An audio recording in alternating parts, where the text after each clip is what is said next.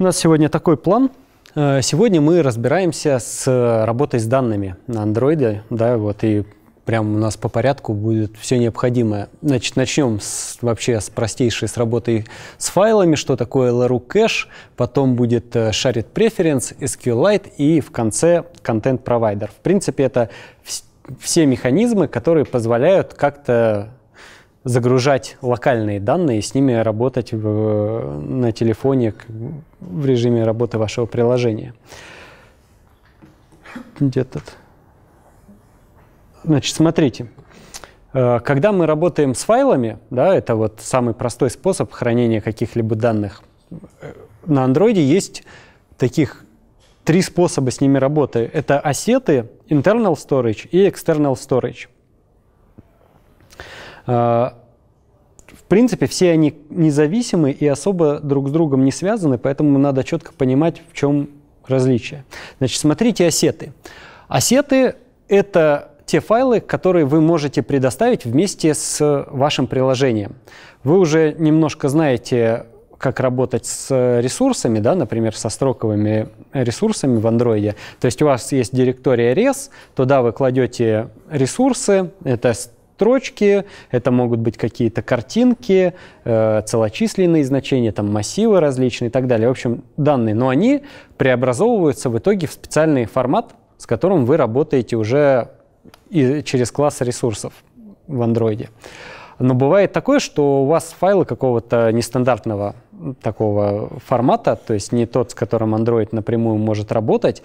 А, и, собственно, вам не надо их загонять в ресурсы, вам просто их надо открывать как файлы. Да? Например, это может быть какие-то XML-файлы, JSON-файлы, это даже могут быть файлы с базой данных, э, какой-то ваш собственный бинарный формат, ну и так далее. В общем, все что угодно. И эти файлы вы, например, хотите распространять вместе с приложением, чтобы, установив приложение, пользователь сразу мог с ними работать. То есть используя их, ваше приложение что-то отобразило, например, на экране. Это, в принципе, достаточно популярное бывает. И вот один из способов – это положить их в ассеты. Ассеты – это специальная директория, она так и называется, assets.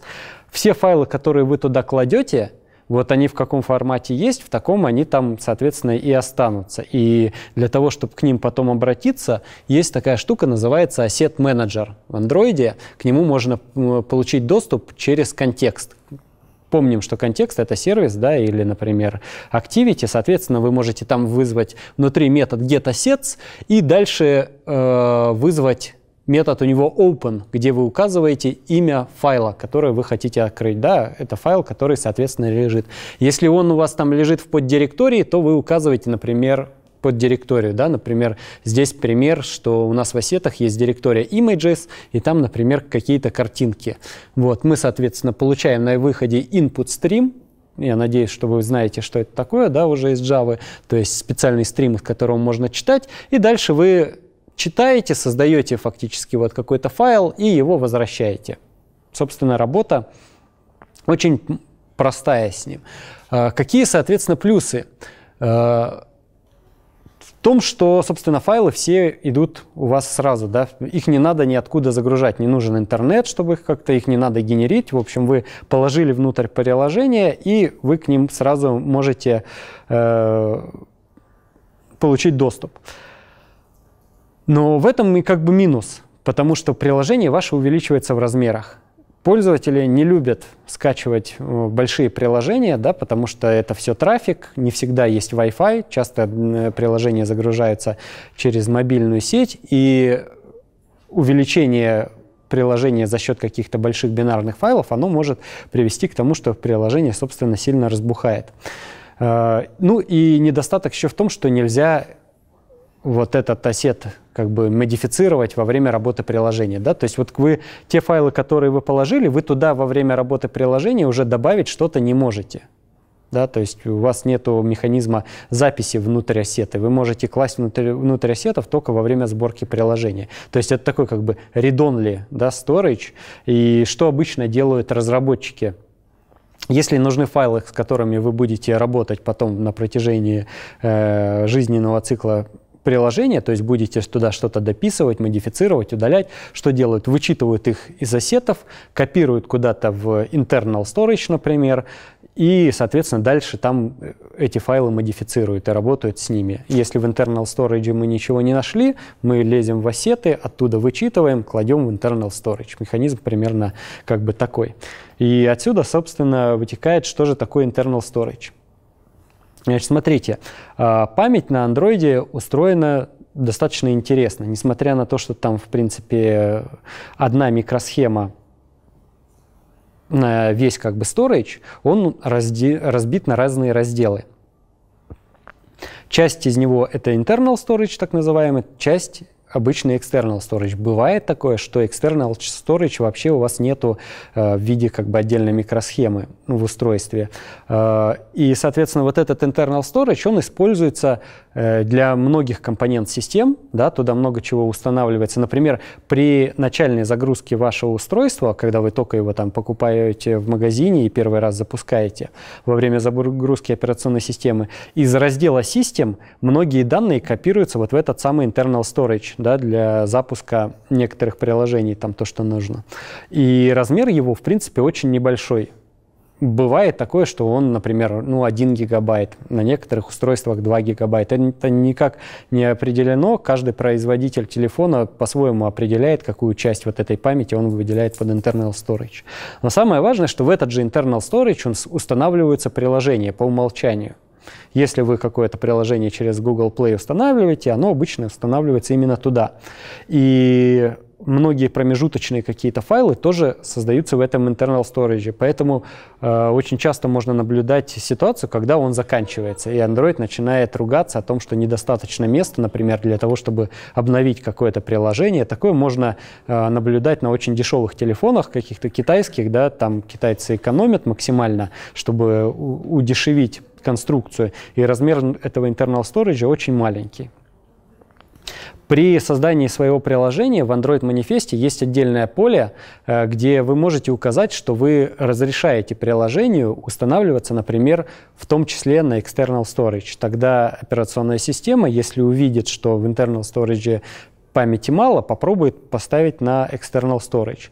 Вот. Но надо не забывать, что external storage доступен многим. Это я сейчас чуть позже расскажу. Но главное про internal storage. В общем, помним о том, что размер его э, небольшой, да, то есть э, место там надо экономить, если мы что-то будем туда писать. И, собственно, файлы, к которым мы хотим получить доступ, их изначально там нету. Нельзя сделать так, что во время установки приложения эти файлы каким-то магическим образом в internal storage появились. Поэтому, как вот я говорил с ассетами, обычно, если нам что-то надо, э, какие-то файлы при запуске приложения либо мы из ассетов копируем в internal storage, либо загружаем по сети, да, то есть делаете запрос к себе на сервер, загружаете какие-то файлы и кладете их туда же в internal storage. Э, его преимущество то, что он все время доступен. То есть вне зависимости от того, когда, как вы запустили приложение, internal storage есть, вы получаете к нему доступ, читаете файл, если он там был. Вот, если вы туда копировали, то, скорее всего, он там есть, и вы без проблем его прочтете. Вот здесь, собственно, пример, как получить к нему доступ. Значит, здесь используется специальный метод у контекста getCacheDir. Дело в том, что у приложения есть несколько директорий внутри этого э, internal storage. Да, эти директории э, связаны исключительно с вашим приложением, другие приложения не могут получить туда доступ. Это достаточно важный параметр, если вы хотите хранить какие-то ну, чувствительные данные, которые вы не хотите передавать сторонним там, э, людям. Значит, эти директории можно получить к ним доступ из контекста по именам getCacheDir, getFilesDir и getFileStreamPass. На самом деле директорий фактически две. Это просто директория как бы для файлов, и так называемая кэш-директория. В чем их отличие? А, директория, которая для файлов, вот если вы туда что-то записали, оно там будет храниться всегда. Вне зависимости от того, что произошло, вы можете получить туда доступ. Если человек принудительно, пользователь не стер эти данные. А, а вот в кэш-директории, если вы сохраняете какие-то файлы. Что делает Android? Если вдруг у вас э, место в internal storage потихоньку заканчивается, его становится очень мало, не хватает для других приложений, для других данных. Android пробегается по вот этим кэш-директориям и удаляет все файлы, которые там есть. Соответственно, э, собственно, отсюда и название кэш. Там должны быть э, какие-то файлы, только которые вы можете пересоздать грубо говоря. То есть не критично важные, чтобы не было такого, что ваше приложение не может без них работать. Грубо говоря, если вы сохраняете файл в кэш-директорию, у вас должен быть механизм, когда этого файла нету, да, то есть вы попробовали его прочесть, его нету, ничего страшного, вы берете его из другого места, из ассетов или по сети, например, качаете. В этой директории хорошо хранить, например, какие-нибудь картинки, которые вы там в своем, например, списке отображаете. Да? У вас в ваших э, проектах у каждого есть какой-то список с э, различными элементами вашими, и каждому из них обычно какая-то картинка, которую вы часто загружаете по сети. Вот хороший признак – это хранить в кэш-директории. Почему? Картинки обычно большого размера да, занимают много места, потому что у нас у телефонов сейчас большое разрешение, чтобы картинка не была мутная, она должна, соответственно, быть в высоком разрешении. Вы ее сохраняете, если вдруг Android ее удалил, ничего страшного, вы ее качаете по сети заново. То есть просто у вас чуть увеличится время загрузки. Вот. А, но не должно быть такого, что вы в кэш-директорию сохранили какую-то там, я не знаю, базу данных, и она удалилась, и все, и ваше приложение, собственно, не знает, как его этот файл пересоздать, да, и потерялись все данные пользователя. Если у вас какие-то данные, которые вам надо обязательно хранить, то вы используете getFilesDir. Соответственно, туда сохраняете файл, потом вычитываете его, и, соответственно, он никуда уже не денется. Э, getFilesStreamPass, он, собственно, делает то же самое, что getFilesDir, а, просто он возвращает сразу input stream, да, как сосетами, из которого можно читать. То есть не файл, а input stream. Исключительно просто для удобства. Вот. Но в общем, главное запомнить, да, какие-то данные, которые могут много занимать места и которые вы можете пересоздать, вы сохраняете в кэш, какие-то остальные, которые вам очень важны и вы не хотите потерять, сохраняете вот просто get files dir. Но на счастье, у нас есть еще external storage. Значит, с external storage все чуть-чуть сложнее. Дело в том, что на некоторых телефонах его изначально как такового нет. На дешевых китайских телефонах э, вот такого класса носителя может вообще не быть, а его заменяет SD-карточка. То есть э, операционная система, когда вы воткнете эту SD-карту в телефон, воспримет именно как external storage, когда карточка воткнута, он у вас есть, вы туда можете что-то записывать, что-то считывать. Но дело в том, что пользователь в любой момент времени может эту карту удалить. И вот ее уже в системе нету, и у вас нету этого external storage. Поэтому э, основная проблема с ним то, что он не всегда доступен, да, э, и про это надо помнить. Есть и еще другая проблема. Например, даже у вас э, вот этот external storage храни, э, разбит в системе на микросхеме, которая распаяна в телефоне. Все окей, пользователь извлечь не может. Но на многих телефонах есть возможность при подключении к компьютеру включить режим э, передачи данных по USB, как с обычной флешки. Да? Тогда э, что делает операционная система? Она размонтирует вот этот носитель внутри операционной системы, external storage, и, соответственно, дает ему доступ по USB. Ваш компьютер видит его как флешку, да, то есть все нормально, у вас там файловая система, вы туда можете что-то копировать, считывать, но в самой операционной системе Android в этот момент external storage нет, у него статус называется unmounted, то есть он не смонтирован, и вы не можете ничего с него прочесть или на него, соответственно, записать. И э, это приводит к тому, что, собственно, э, надо всегда не забывать проверять. Есть такой способ, есть класс в Android, называется он environment, у него есть э, метод get external storage state. И вы всегда должны проверять у него статус, что у него media mounted, да, то есть, э, соответственно, что этот носитель э, смонтирован, и, соответственно, к нему есть доступ. Если вы это не проверяете, вы можете столкнуться с такой проблемой, что у вас не происходит запись, да, у вас ошибка записи, ошибка чтения, соответственно, только по той причине, что, собственно, storage не подключен. Но есть и плюсы. Обычно размер этого external storage очень большой. Да, когда мы покупаем телефон и производитель пишет там 32 гигабайта, 64 гигабайта, это означает, что вот большая часть вот этой памяти именно под external storage отведена. Но я думаю, вы э, замечали, что если вы покупаете телефон, у которого, например, там 32 гигабайта, реально на external storage там, например, 28 да, не 32.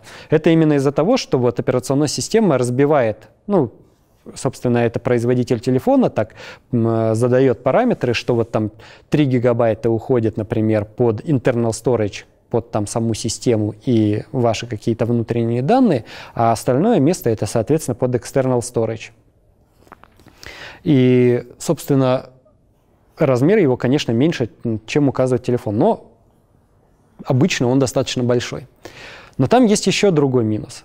Э, Android заботится о том, чтобы данные, которые хранятся внутри одного приложения, были доступны только этому приложению. Да, вот этот механизм песочницы, sandboxing, который говорит о том, что другие процессы не могут никак вмешаться, он э, гарантирован только в том случае, если вы пользуетесь internal storage.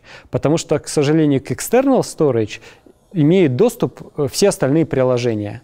Они, соответственно, могут писать, читать, в принципе, в любое место э, вот этого external storage, если вы дали им на это права. Да? Для того, чтобы писать и читать из external storage, для этого еще, кстати, нужен специальный permission.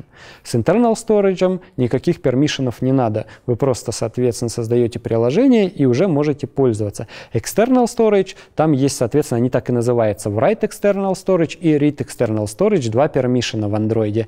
И эти пермишины относятся к категории dangerous, да, то есть об этом э, Android предупредит пользователя, э, и пользователь должен дать согласие да, на доступ э, к этим ресурсам, потому что, как мы помним, normal permission доступны всегда, мы их просто объявляем в Android манифесте, и операционная система нам их выдает во время установки. А Dangerous Permission, э, начиная с Android 6.0, да, это уже runtime permission, которые нам надо запрашивать самим да, до 6.0, соответственно, э, мы их просто объявляем в Android манифесте, и пользователя просто при установке предупреждает, что у приложения да, есть доступ к external storage. А начиная с Android 6.0, runtime permission спрашивают во время работы приложения, что приложение хочет получить доступ. Но я думаю, если вы сталкивались с Android 6.0, вы видели да, такие всплывающие сообщения, да, что нужен доступ или к телефону, там, например, или э, к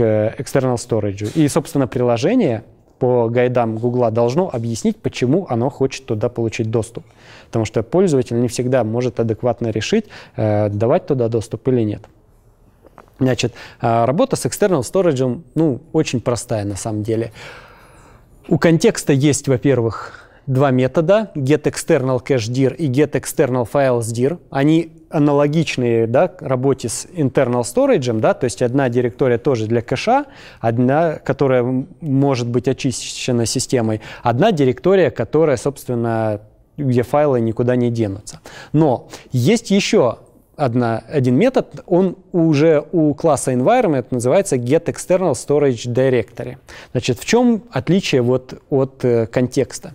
Когда вы через контекст получаете доступ к external storage directory, да, получаете вот этот вот э, файл с dir, э, вам возвращается путь внутри специальной директории. Она находится по пути э, директория Android, потом под директория Data, потом под директория package name вашего приложения. И вот внутри вот этого пути, внутри вот этого корня вы получите, собственно, вот этот как бы вернувшийся объект файл. Для чего это сделано? А, начиная с Android, по-моему, 7.0, ты не помнишь, с Android 7.0 не нужен write external storage. Вот. По-моему, начиная с Android 7.0, если вы не указали permission вот этот вот write external storage, то вы можете получить все, все равно к нему доступ вот через вот эту функцию, да, external files dir. Но, соответственно, ваш доступ будет ограничен вот этой вот специальной директорией, да, то есть ко всему external storage у вас не будет дан доступ, и, соответственно, вы не можете прочесть данные других приложений. Это как бы обеспечивается тот же механизм песочницы, как с internal storage, да? но это только начиная с Android 7.0. до 7.0 все равно надо запрашивать. Но если вдруг вашему приложению не нужен доступ, соответственно, к этой специальной директории, а нужен ко всему корню, да, external storage, да, где все директории, то вам надо использовать вот метод из environment, get external storage directory. Там нужен обязательно permission, и там уже вернется вам фактически корень вот этого external storage. Вы можете хотеть по всем директориям, удалять файлы какие-то, записывать, в общем, бесчинствовать как вам угодно. Э, соответственно, тут пример, да, как, соответственно, работать. Все очень просто. Получаем там, соответственно, путь кэшдир, создаем файл. Здесь, соответственно, э, комментарий о том, что это корень всей э, файловой системы на external storage, и, соответственно, делаем все, что нам надо. Значит, вот это, соответственно, основные механизмы работы с файлами на Android. Да? Не забываем, соответственно, что у нас есть осеты, это только файлы, которые идут вместе с приложениями. У нас есть internal storage, где мы имеем доступ только к нашей специальной директории, другие приложения туда не имеют доступ, и, соответственно, размер там ограничен, лучше туда ничего большого не класть. И external storage, соответственно, это уже весь носитель, который нам там доступен, и там обычно большой объем, туда сохраняем какие-то большие объемы данных. Например, я не знаю, музыку, там, если вы скачиваете фильмы или еще что-то, кладете все туда. Но теперь смотрите, это все файлы, то есть это данные, которые хранятся на диске. А, как вы понимаете, несмотря на то, что, конечно, уже революция там движется всех электронных носителей семимильными шагами очень давно, и мы уже ушли там далеко, давно от дискет, которые очень медленно работали, и сейчас, в принципе, э, большинство носителей это просто микросхемы памяти, да, это какие-нибудь флешки и, соответственно, сами телефоны.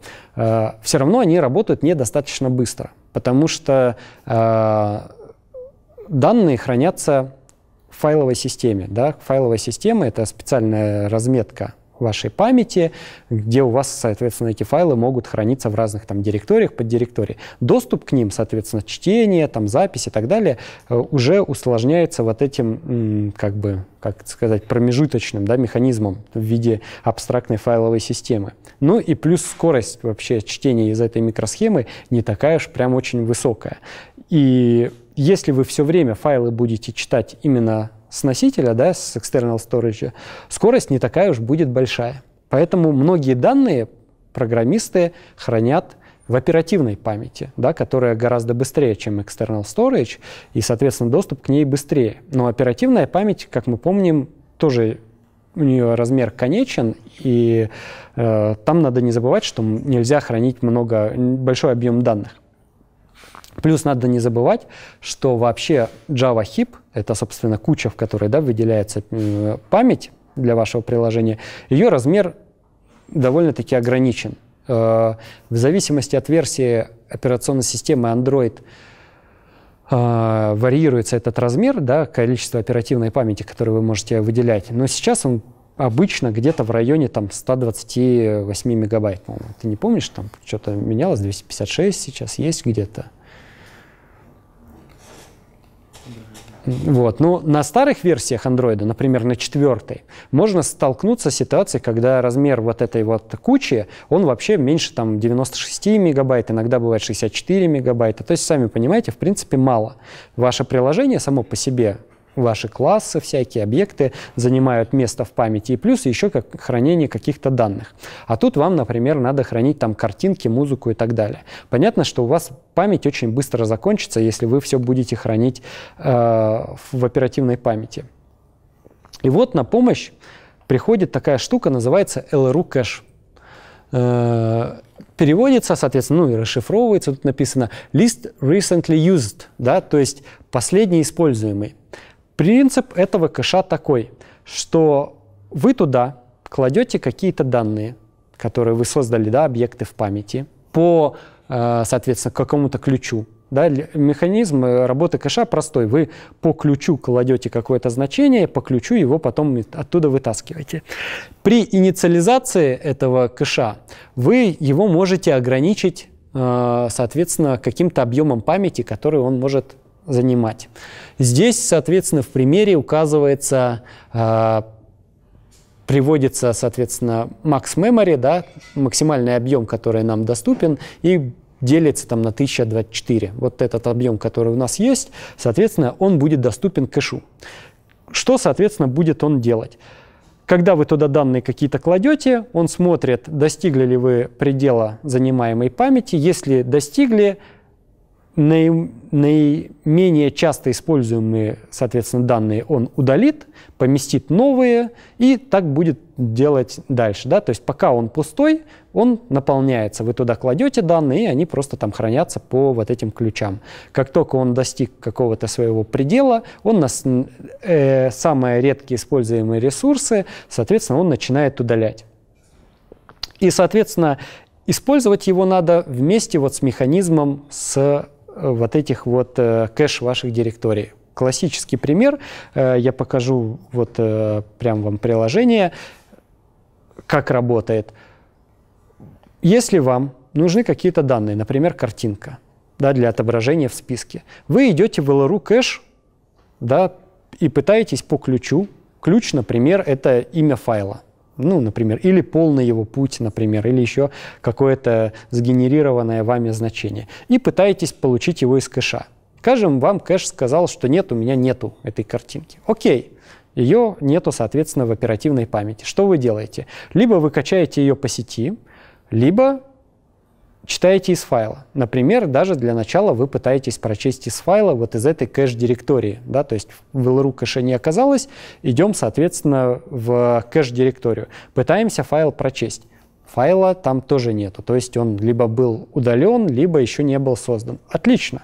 Вы, соответственно, э, загружаете файл по сети, картинку, да, в этот момент у вас крутится там какой-нибудь вот этот э, прогресс-бар, Файл скачивается, кладется в кэш-директорию и тут же, соответственно, загружается, кладется в LRU кэш, то есть по этому ключу вы его положили. Дальше вы, например, свой адаптер нотифицируете о том, что у вас обновились данные, да, если это там recycler view, то вы говорите notify item change, если list view, говорите там notify data change. У вас, соответственно, ваш list view обновляет данные, идет опять по тому же самому пути, да, круг повторяется в LRU кэш, но там он уже находит эту картинку и ее отображает. Для чего это сделано? Для того, чтобы вот вы берете, прокручиваете список, он у вас обычно подгружается медленно, да, потому что видно, да, там эти... А вот вы крутите его обратно, он подгружается быстро. Это значит, что эти данные, которые, соответственно, вы скачали по сети, они уже закэшировались в LRU кэше. В крайнем случае, если вдруг вы превысили объем, самые старые данные, они удалились, но они у вас есть вот в этой кэш-директории, и они все равно потом загрузятся достаточно быстро.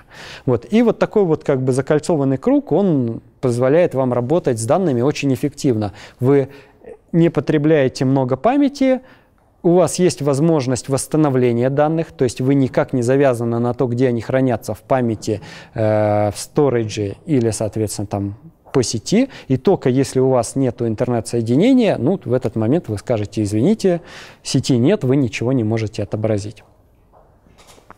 Собственно, вот такой механизм обычно работает с файлами. Но а, бывает ситуация, когда вам не надо сохранять какой-то большой объем данных, а надо сохранить какие-то ну, небольшие параметры.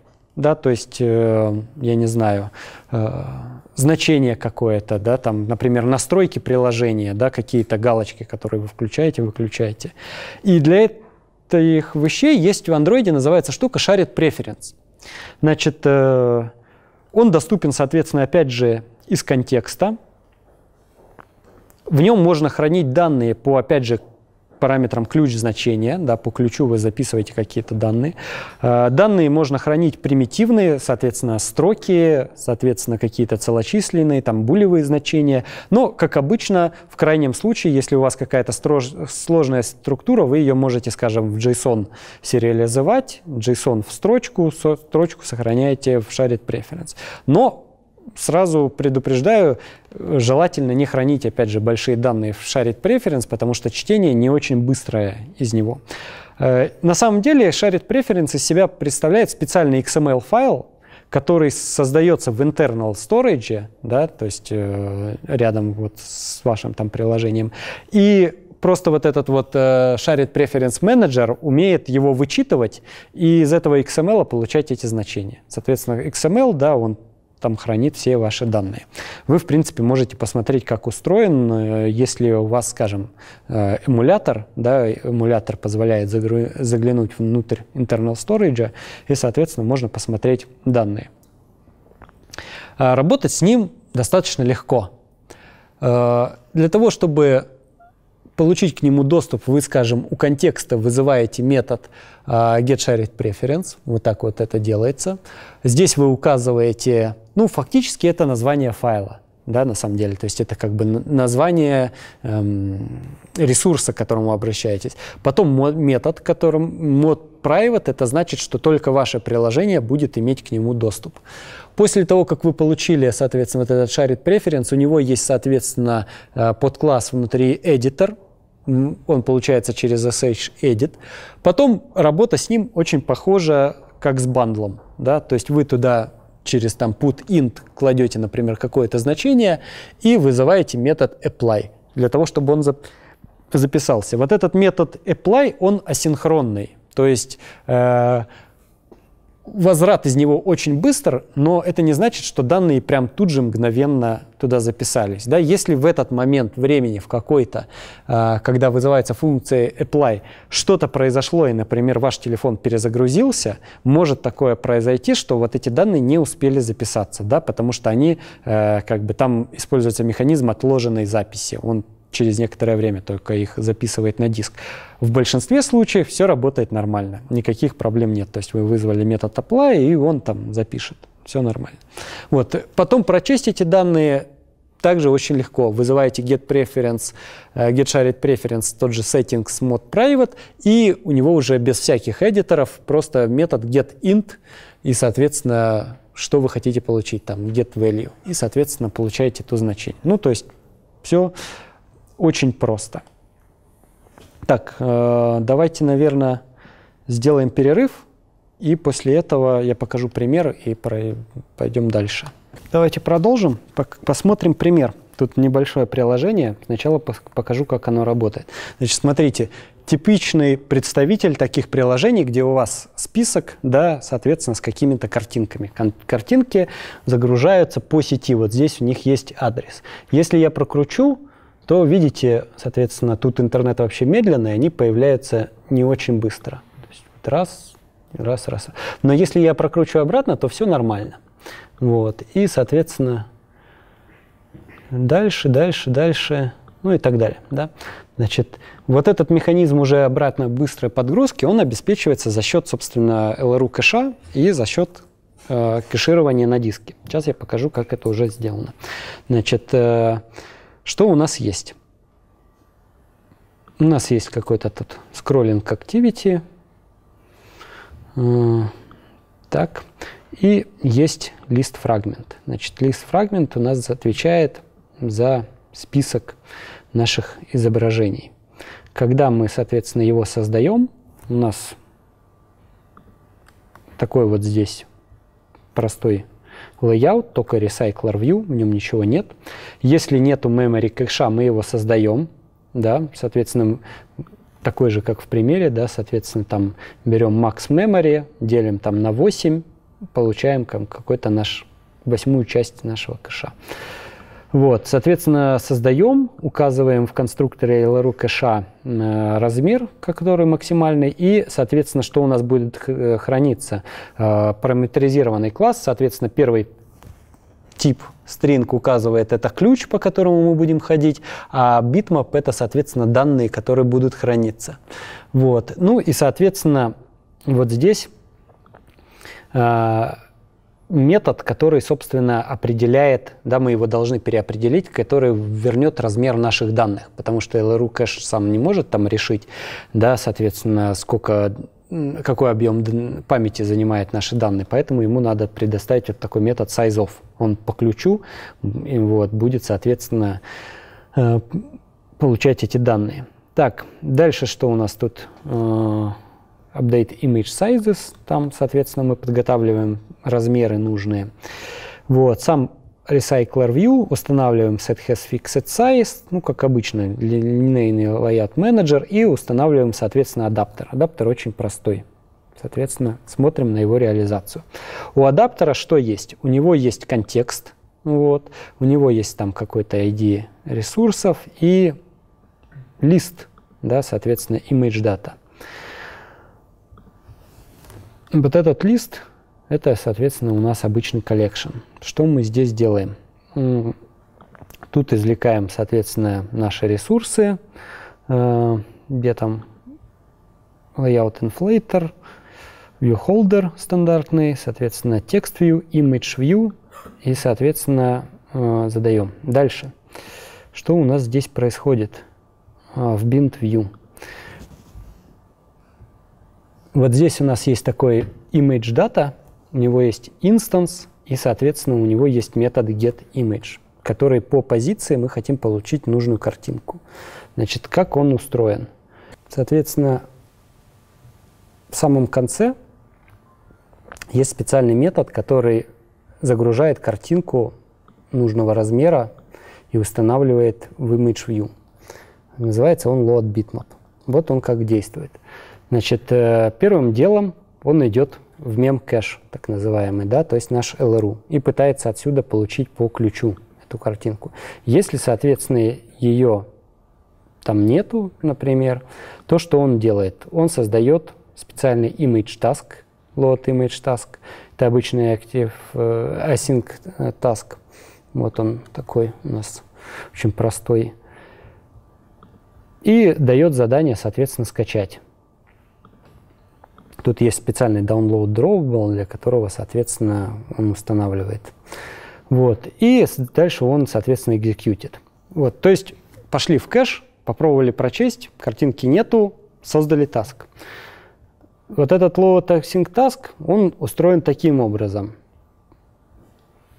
Он попробует первым делом прочесть, вот видите, из get cache прочесть файл из кэш-директории – если он там найден, то, соответственно, он попробует, э, соответственно, его прочесть и вернуть вот тут вот return. Но если его нету, null, то что мы делаем? Создаем URL, соответственно, OpenURL Connection, output но тут очень простой код, да, так работать с сетью не надо, но, в принципе, оно более-менее как-то работает. И тут у нас копи-стрим, который копирует это изображение. И дальше происходит декод файл. Соответственно, здесь просто происходит чтение этого файла. Вот. Эть, эть. Где там? Где у нас post-execute? Соответственно, в пост-экзекьюте что происходит? Мы пытаемся получить из кэша это изображение. Если, соответственно, его там нет, то мы его туда добавляем. Потом мы получаем там наш image view и, соответственно, туда устанавливаем это изображение. Все, больше тут ничего не делается. Ну вот, собственно, вот такой довольно простой пример. А, вы потом исходники сможете скачать и посмотреть. Ну, работает, в принципе, все достаточно плавненько. То есть,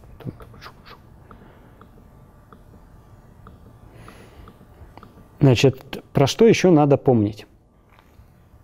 Например, вы вот это все сохранили да, в вашем internal storage и надеетесь, что, соответственно, файлы ваши никуда не денутся. Но умный пользователь что может сделать? Он берет вот так вот ваше приложение, вызывает application info, такой вот специальный диалог. И тут есть вкладка storage. Здесь указывается, сколько э, ваше приложение да, с данными. Вот видите, здесь уже есть э, в кэше 5,7 мегабайт. Да, это, соответственно, куда сохранились наши изображения. Ну, такой, о, ничего себе, сколько всего. Вот. И в лучшем случае он нажмет clear cache, да, то есть отдается только кэш директория, но он может и clear data. Clear data очистит полностью, соответственно, весь internal storage, чтобы вы в нем не хранили. И, собственно, э, к этому надо быть тоже готовым. То есть, э, несмотря на то, что нам гарантируется, что, в принципе, сами по себе файлы никуда из internal storage не денутся, но их может удалить сам пользователь. Иногда это, в принципе, бывает полезно, если вдруг э, у вас ну, что-то пошло не так у вас при сохранении файлов э, произошла ошибка, и формат, в котором они сохранились, он, соответственно, какой-нибудь битый. И ваше приложение при чтении этих данных, например, падает. Ну, оно не было готово, да, что структура там не, не выровнена.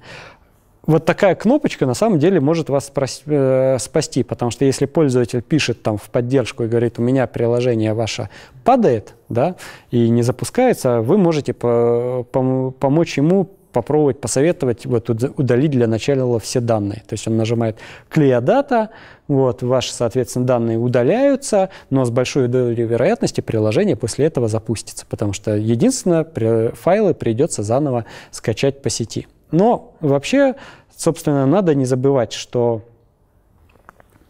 э, современные телефоны хранят, конечно, ваши данные, но желательно все их копии как-то хранить, бэкапить еще в интернете. Да? То есть в вашем сервисе должны они как-то сохраняться, потому что телефон можно потерять, э, может он сломаться. И несмотря на то, что Google обеспечивает такой, есть там механизм бэкапа данных, можно в своем активе Android манифест указать флажок, называется он Allow Backup, вот, и у него есть, по умолчанию он true. Да? Это значит, что э, Google данные, которые там сохраняются в internal storage, он как бы бэкапит.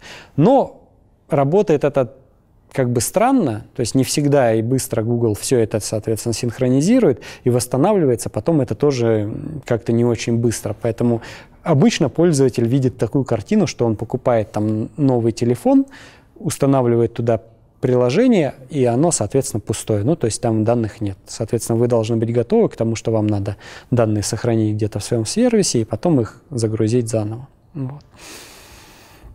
вот. Так, ну, в общем, вот такой простой пример. Давайте тогда продолжим дальше. Давайте дальше. SQLite. Значит, э, смотрите, в общем, я рассказал о том, что можно файлы в каком-то вашем собственном формате хранить на диске. Вы сами можете его изобрести, взять какое-то готовое решение, что-то свое, бинарный формат, можно JSON, можно XML хранить, э, есть Google Proto Buffers, но иногда эти данные должны быть, соответственно, структурированы, да, там как-то, и, в принципе, для этого неплохо подходят базы данных. Вообще, многие знают как работают базы данных, и с ними работали. Да? Вот, я надеюсь, что большинство все-таки знакомы. Значит, SQLite — это такая очень простая база данных. Э, Ее разрабатывают, в принципе, те же люди, что и PostgreSQL, да, и, в принципе, по своему как бы API она очень похожа на Postgre. А, единственное там отличие, она как бы не многопользовательская, для нее не нужен отдельный сервер или еще что-то, и она не живет как отдельное как бы приложение. То есть SQLite, когда вы им пользуетесь на Android, это база данных встроенная в ваше приложение, то есть вам не надо никуда подключаться, да, там ни по какому IP-адресу ходить, оно просто есть э, внутри вашего приложения. И это просто как бы один файл. Да, то есть просто он, соответственно. Преимущество в том, что вы, э, когда работаете с SQLite э, на Android, сохранили вот этот файл с базой данных, вы, в принципе, его можете вытащить на компьютер и просто через команду SQLite 3, получить к нему доступ и посмотреть все, что там хранится, да, вот эти все таблички, поля, можете туда что-то дописать, если вам что-то надо, в общем. Э, формат базы данных на мобильном телефоне точно такой же, как и на десктопе. Вот это, в принципе, неплохо. Вот. И э, вообще, в принципе, механизм с ним э, работы достаточно простой. Как здесь вот написано, что все хранится в одном файле, э, можно читать, в принципе, из разных потоков, но не рекомендуется. Вот. Э, но писать надо из одного потока, но это чуть позже я расскажу. В принципе, в принципе, э, Android предоставляет достаточно удобный API по работе, да, то есть э, там есть набор классов, вот здесь они указаны. Это Content Values, курсор, э, SQLite Open Helper и SQLite Database. Да? В принципе, один, два, три, четыре класса на, на все про все. Э, значит, э, SQLite Open Helper – это специальный класс, который вам нужен для, открытия базы данных. Да, сейчас я там расскажу для чего. У него есть метод там onCreate, onUpgrade – достаточно важные два метода. И, собственно, сам класс SQLite Database, у которого есть несколько методов типа query, delete, update, insert, execSQL, там replace. Все они э, дублируют фактически какие-то SQL команды. И, соответственно, content values — это специальный класс, когда вы хотите данные положить в базу данных, да, то есть там, опять же, по ключ значения вы ну, как бы составляете данные, которые будете запихивать. А курсор, соответственно, это, соответственно, специальный объект, который возвращается вам, когда вы данные какие-то вычитываете, да, и курсором вы, соответственно, двигаетесь по полям. В общем, работа очень простая. Про что надо помнить при работе с базовыми данных вообще, да, но и на андроиде в части. Это такая штука, как SQL injection, injection. Вот. Э, то есть внедрение внутрь SQL запроса каких-то сторонних данных. Значит, э, смотрите, вот у андроида, у вот этого класса SQLite Database есть э, метод execSQL, которому, в принципе, можно кормить любую вот строчку, да, вот такой обычный запрос, и подставить туда какие-то данные. Например, где-то в серединке, просто через стандартное форматирование строки, да, вы вставляете какую-то какую строчку, которую вы берете, скажем, из текст инпута. Да, пользователь должен туда имя ввести свое, скажем. Вот, и, соответственно, вы, соответственно, пытаетесь это удалить. А есть другой способ. Можно через специальное форматирование, да, то есть подставляя специальные маркеры, да, куда будут вставляться вот эти значения. Казалось бы, ничего общего, да, ну, точнее, очень похожие два метода, но в чем же их такое отличие? Дело в том, что вот сюда вот user input stream можно вставить вообще все, что угодно, да, любое SQL-выражение. Пользователь может, если он знает, что у вас там так все устроено, он может, соответственно, прям вставить вот здесь там точечку с запятой, потом набрать SQL-выражение, вроде там drop database там, и так далее, то есть уничтожить все данные, и у вас все, соответственно, удалится. Так делать не надо. Соответственно, если вы подставляете через специальные маркеры, у вас будут подставляться только специальные значения, да, которые, и если вы попробуете здесь какое-то выражение вставить, да, через там точку запятой, у вас, соответственно, будет просто ошибка выполнения. Вот. Соответственно, надо всегда использовать вот эти э, такие знаки вопроса, да, они отличаются от стандартного форматирования строки, да, знаете, там можно через проценты всякие. Вот. А, но тут вот такой механизм, вы устро где вам надо вставить какие-то значения, вставляете знак вопроса, а потом передаете массив строк, и у вас, соответственно, через запятую здесь вот эти параметры, которые туда надо вставить. Значит, один из первых методов, с которыми вы столкнетесь, соответственно, метод query – он принимает кучу параметров, как видите, и возвращает курсор. Этот э, метод нужен, когда вы хотите что-то ну, вычитать из базы данных. Соответственно, это заброс обычно select да, когда вы э, хотите какие-то данные прочесть. Соответственно, вы указываете table, это имя таблицы, которую вы хотите прочесть, колумн, соответственно, список колонок, да, из которых вы хотите получить данные.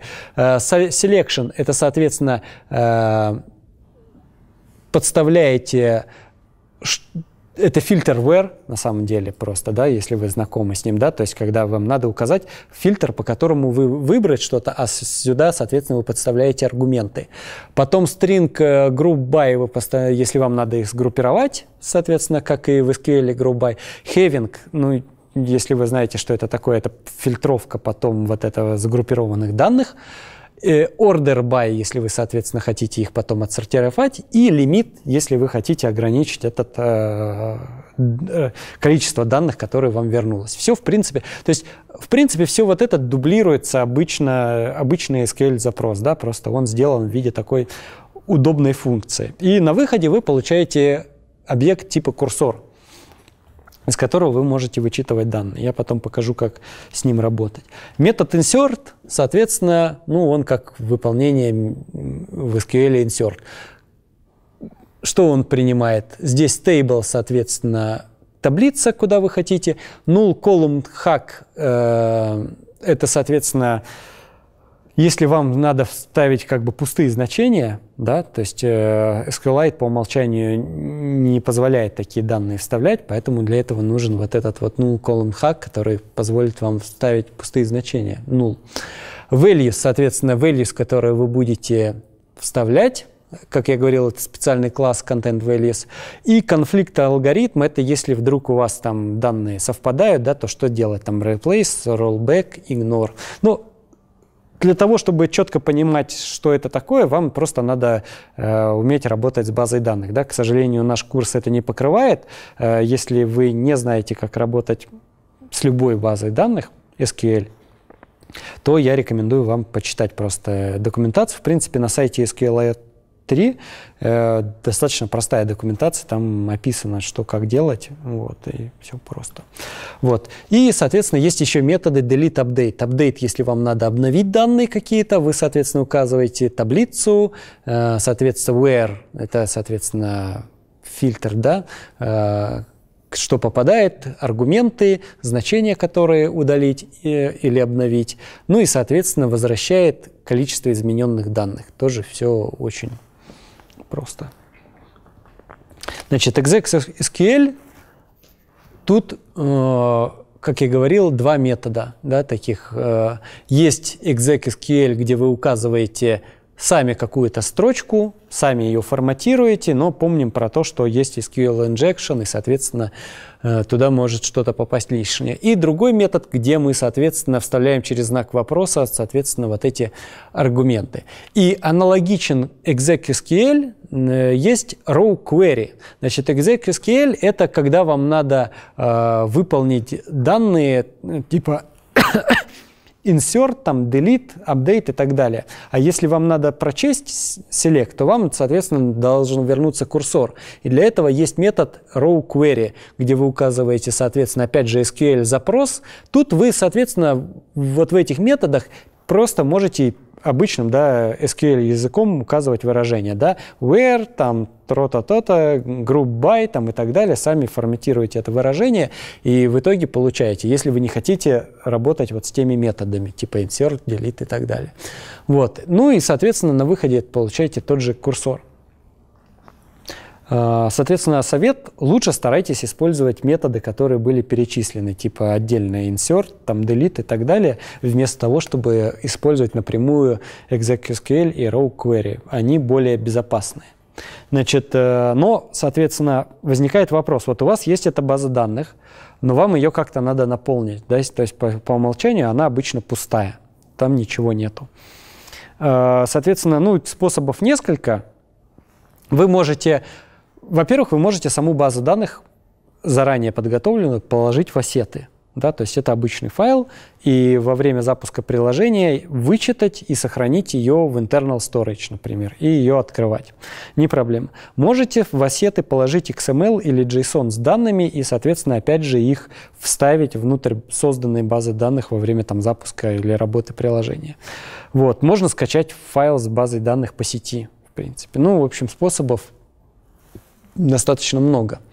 Вот, э, и никаких сложностей нет. Единственное, помните о том, что если вы ее сохраняете где-то на external storage, то к ней может получить доступ кто угодно, потому что база данных никак не защищена.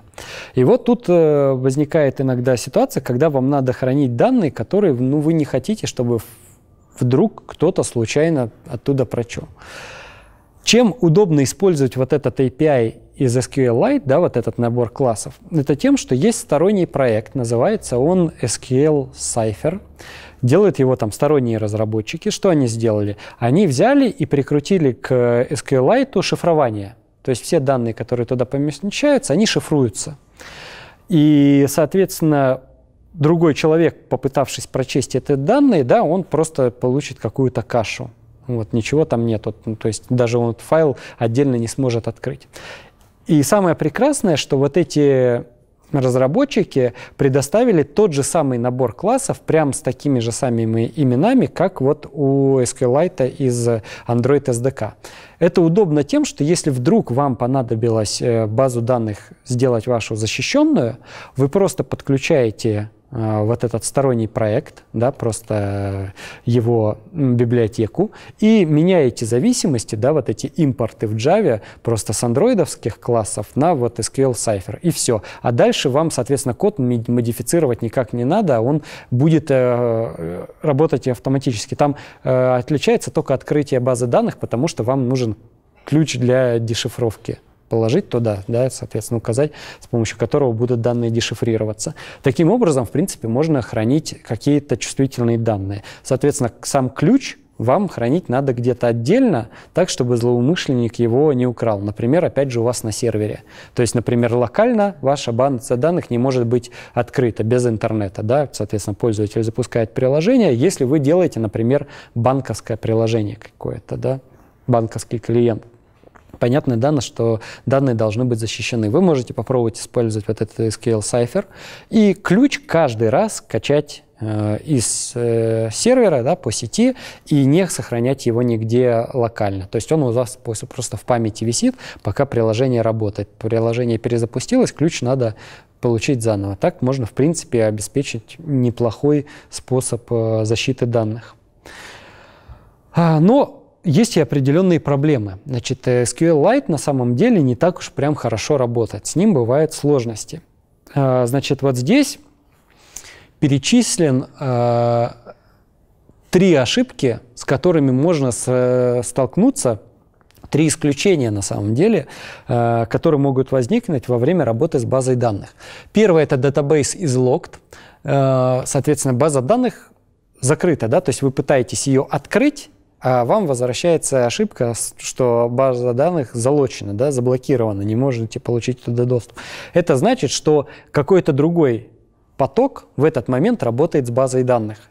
Дело в том, что SQLite, у него операции на чтение и на запись, в принципе, защищены одним и тем же объектом mutex. Да? То есть, в принципе, э, хотя у них два разных метода get-read database, get-write database, но на самом деле они опираются на тот и тот же механизм блокировки. И если база данных в данный момент открыта на запись, то она не может быть открыта на чтение и наоборот. Поэтому, в принципе, и в принципе объект, который возвращает вот эти методы, он в принципе один и тот же, и особой разницы на самом деле между этими методами ну, внутри нету.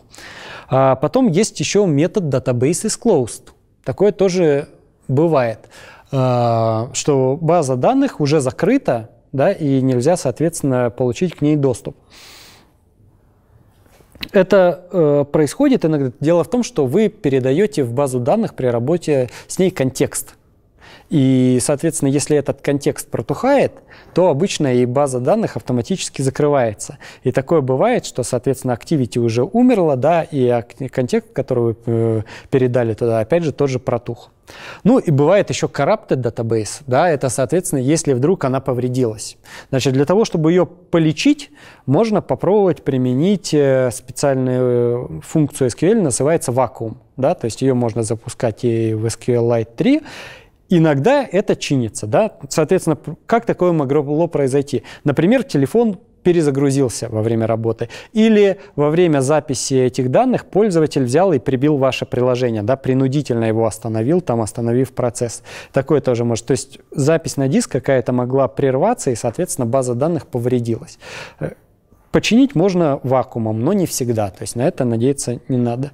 Э, ну и вот тут еще низкая производительность. Это, к слову, вообще об операции вакуум. Если у вас объем данных достаточно большой, который вы храните в SQLite, то вот эта операция вакуум выполняется очень медленно. Значит, если кто-то не знает, что это такое, во время активной работы с базой данных, когда вы вставляете, удаляете данные, обновляете, она фрагментируется, да, называется фрагментирование. То есть ее размер физически увеличивается. Там создаются дополнительные ссылки, ввиду сложности структуры вот этой как бы самой базы. И для того, чтобы потом в какой-то момент все это оптимизировать, привести к нормальному методу, эпизодически надо вызывать вот этот метод вакуум, который проводит вот эту операцию. Но он иногда выполняется очень медленно. Вот Кирилл рассказывал, что в почте как-то выполнялся ой, вообще чуть ли не сколько да, часов? Мы э, решили включить вакуум для наших пользователей. А почтовое приложение это ну, приложение, которое у пользователей стоит достаточно продолжительное время на устройстве, у них довольно много писем. Там, соответственно, базы были достаточно большого объема. Ну, достаточно большого, это там, десятки мегабайт на устройстве. А, и мы решили включить вакуум. Он включался не сразу, там а, на какой-то запуск. И мы обнаружили, что пользователи стали удалять приложение. Мы не понимали почему, а потом взяли устройство с приложением, на котором э, большая фрагментированная база, запустили его и поняли, что оно висит на splash screen е порядка там 5 или 7 минут, пока этот вакуум. Да, то есть э, обычно человек э, с мобильным телефоном не готов, что приложение будет так долго запускаться, да, то есть я думаю, вы все знаете, что приложение обычно запускается быстро, и если приложение запускается несколько минут, пользователь думает, что оно повисло. Да, то есть он не будет разбираться, что там что-то происходит, он видит, даже если wait курсор какой-то, он такой повисло, и он прибивает. Несколько раз запустит, потом пишет, говорит, ваше приложение сломалось. То есть на самом деле оно-то работает, но он уверен, что оно сломалось. И говорит, все, дизлайк, одна звезда, удалил, все, больше я пользоваться этим не буду. Ну, пользователь сейчас привередливый. Вот. Поэтому с вакуумом надо быть аккуратным. Ну, тут, в принципе, перечислено все то же самое, что я говорил, да, вот эти состояния, в какой момент времени может происходить база данных Locked. Вот. Вообще вот по, по, по поводу database из Locked, какая рекомендация? Старайтесь работать в одном потоке с базой данных. Не обязательно это не UI-thread должен быть, да, опять же, потому что чтение и запись операций тоже не быстрые, поэтому из UI-thread с базой данных лучше не делать. Лучше завести отдельный поток, например, э, который у вас там, там э, крутится постоянно, в нем есть какая-нибудь, например, очередь сообщений, да, вы положили туда э, блокет queue, которая да, умеет блокировать поток. Что вы делаете? Вам что-то надо там записать, вы специальное сообщение отправляете в эту очередь, отдельный поток вычитывает это сообщение и, соответственно, производит операции с базой. Либо записывает, либо их читает, да, и, соответственно, куда-то эти данные возвращаются. За счет этого можно избежать очень как бы большого количества проблем, да, не получать вот эти ошибки, и, соответственно, у вас все будет э, более-менее нормально работать. Потому что если вы начнете из разных потоков получать доступ на чтение, на запись, пытаться данные обновить, там, прочесть и вычитать как-то, то э, рано или поздно это закончится тем, что все-таки приложение упадет там, с какой-нибудь ошибкой. А, значит, э, database closed, ну, соответственно, тоже уже рассказывалось, что там можно, как может такое произойти, когда там несколько работает и activity. Ну и corrupted, соответственно, тоже. А, тут есть несколько примеров о том, как вообще работать с базой данных, как э, оптимизировать. А, соответственно, большие запросы не писать, да, соответственно, которые там больше тысячи строк там, и так далее. А, не используйте смещение в лимит, да, ну, если вы знаете, как их указывать. А, если нужно создавать таблицу существующей, используйте метод, соответственно, insert select. А, очищайте память после больших запросов вызовом SQLite Database Release Memory. Да? То есть, если вы делали, есть специальный метод, когда вы э, что-то большое туда... Используйте индекс, но это при работе с любой базой данных. Не используйте like. Значит, э, like — это ну, как бы типа полнотекстовый поиск, да, и он на, самом деле работает в SQLite очень медленно. А, соответственно, в условиях ставьте легкие там и индексированные запросы, правильно используйте join или не используйте, и избегайте фрагментации. Ну, соответственно, фрагментации тоже лучше избегать. Вот, э, ну, join сейчас многие советуют и в серверных базах данных не использовать, да, делать его фактически самому руками, чтобы там шардирование поддерживать и так далее. Вот. Э, про базы данных все. Сейчас давайте я покажу пример. Да. А, вот при запросе, если данные повредились, то вы сказали, можно вакуум использовать. нельзя как-то последнюю запись просто ну, откатиться? Ну, э, Ну, смотрите, там есть вообще поддержка как бы транзакционности, то есть вы можете там создавать транзакции, их потом как бы плавить, но я не знаю, насколько вообще хорошо. Тут вот, может, Кирилл лучше расскажет, у него больше, наверное, опыта работы с базой. Вообще, если у вас корабль database, то она даже не проинициализируется. То есть у вас файл э, базы данных поврежден. И когда вы будете иници- инициализировать свою SQL базу данных, она не проинициализируется. То есть вы не сможете применить никакие инструменты Мгм. поддержки транзакций, потому что у вас не на чем это делать. Вся база ломается. Да, ломается вся база. Вот. а, самый худший случай это удалять файл и пересоздавать, собственно, с нуля саму базу данных. Вот. Это гарантированно работает. А, поэтому, несмотря на то, что это персистентное хранилище, которое обеспечивает какое-то ну, хранение данных на устройстве, нужно всегда иметь в виду, что а, вы в какой-то момент можете остаться без этого хранилища и иметь возможность заполнить его данными откуда-то с сервера. Вот. Ну, не самое надежное средство хранения ваших данных, да, но, в принципе, э,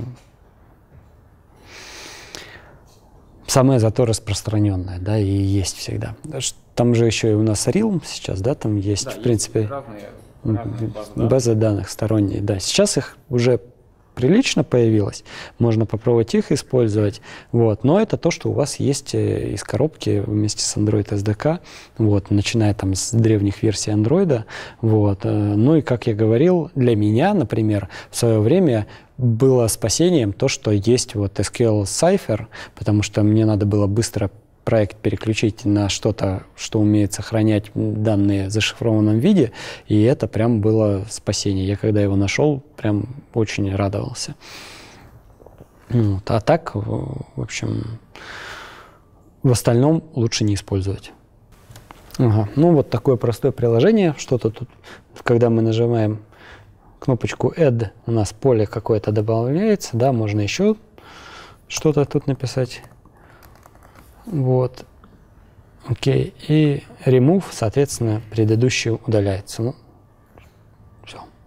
В принципе, ничего больше это не надо. Значит, это устроено, оно очень просто. Давайте смотреть. Значит, у нас есть main activity.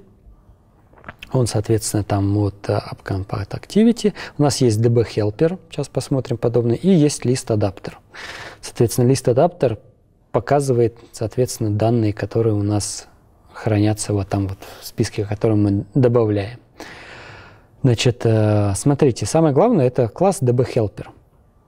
Значит, он наследуется, как я говорил, от класса SQLite Open Helper. Вот здесь вот. А, Для чего это сделано? У него самое главное, есть метод onCreate. Сейчас попробую его развернуть, его вот так. Вообще, может, свернуть. Во. Смотрите, что здесь делается.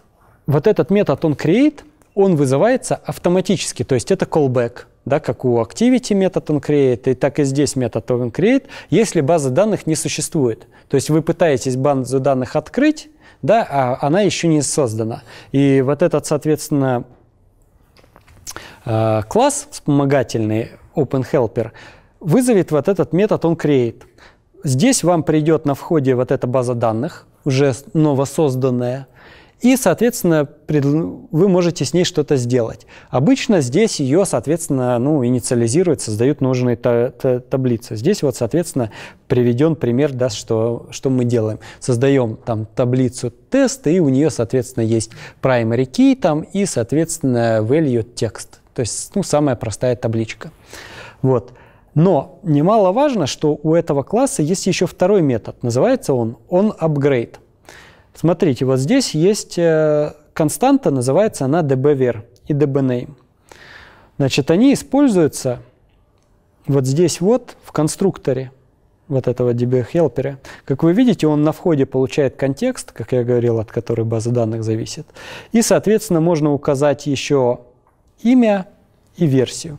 Если вам нужен какой-то специфический курсор, да, нестандартный, то вы можете для него указать вот factory, это, соответственно, э, метод, который будет вызван да, для создания вот этого объекта курсор. Но самое главное – это имя и версия. Значит, имя – это имя вашей базы, и обычно так называется файл, который будет сохраняться, а версия, соответственно, версия базы данных. Что произойдет, если вы взяли, выпустили свое приложение версии 1.0, там у вас есть какая-то база данных там, с одной-двумя таблицами, вы с ними работали, данные заполняли, и вот вы выпускаете версию 2.0, и в этой версии вам надо поменять формат базы. Например, у вас одна таблица новая добавилась, в другой таблице какие-то поля поменяли, да, колонки изменились или еще что-то такое. Как вам, соответственно, узнать версию старой базы, да, и если ее надо конвертировать. Для этого помогает метод onUpgrade. Версии приложения 2.0 вы вот этот db ну тут уже версия двоечка, да, можно поставить троечку, да, это просто интовое значение, вы его инкрементируете. И, соответственно, когда версия отличается от другой, да, соответственно, когда вы открываете базу данных, вот этот Open Helper сам проверяет старую версию и смотрит, что у вас есть новая. И если они отличаются, он вызовет метод onUpgrade. И вам здесь приходит две версии на входе. Версия старая, которая предыдущая, и версия новая, с которой вы пытаетесь открыть. Для чего это сделано? Может произойти так, что у вас за цикл обновлений вашего приложения, скажем, у вас было там 30 релизов, у вас там 5 раз менялся формат базы данных данных, и у вас версия на самом деле там какая-то уже там пятая или шестая. А вы, у вас, например, пользователь все это время приложение не обновлял, ну, по какой-то причине. Вот. И у него версия, например, 1.0, а у вас сейчас версия 5.0.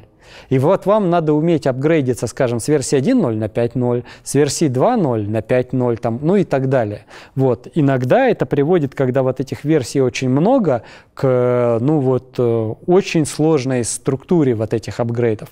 Но для чего это сделано? Собственно, в этом методе вы, когда понимаете, как отличается предыдущая база от текущей, можете сделать эти изменения, да, соответственно, там через alter table там вы там добавляете там какие-то там колонки другие, вы добавляете какие-то таблицы там create table, и вот у вас уже новый формат, вы уже можете с ним э, работать. Либо вы удаляете какие-то таблицы старые, если вам не нужны, в общем, делаете модификации.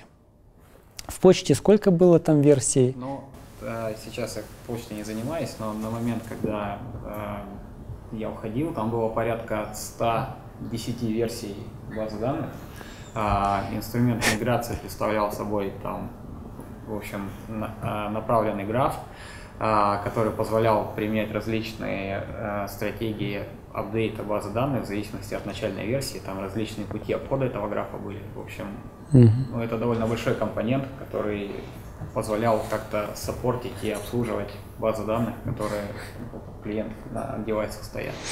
Ну, в общем, обычно это непросто. Если у вас активно действительно используется база данных, то есть там не пара там, табличек, а прям все очень серьезно, то и механизм миграции обычно очень сложный. Поэтому, конечно, вот надо помнить. Дальше. Э, собственно, вот этот хелпер.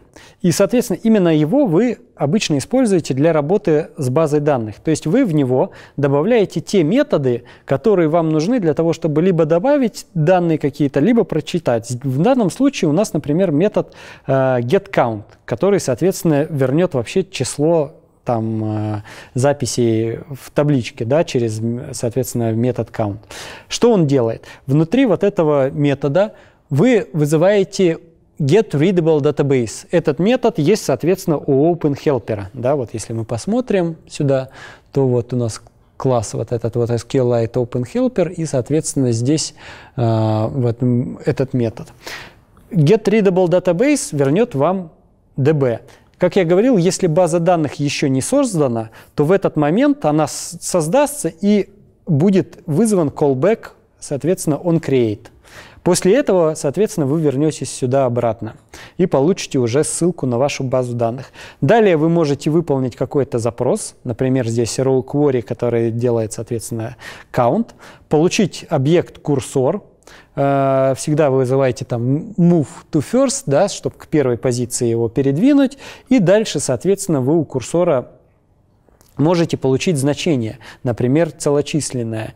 И, соответственно, как это сделать? Вам надо указать, э, из какой, таб... из какой колонки, да, соответственно, это прочесть. Это можно сделать через вот get column index or throw. Соответственно, если такой колонки нет, то, соответственно, будет кинуто исключение. Вот здесь его поймаем.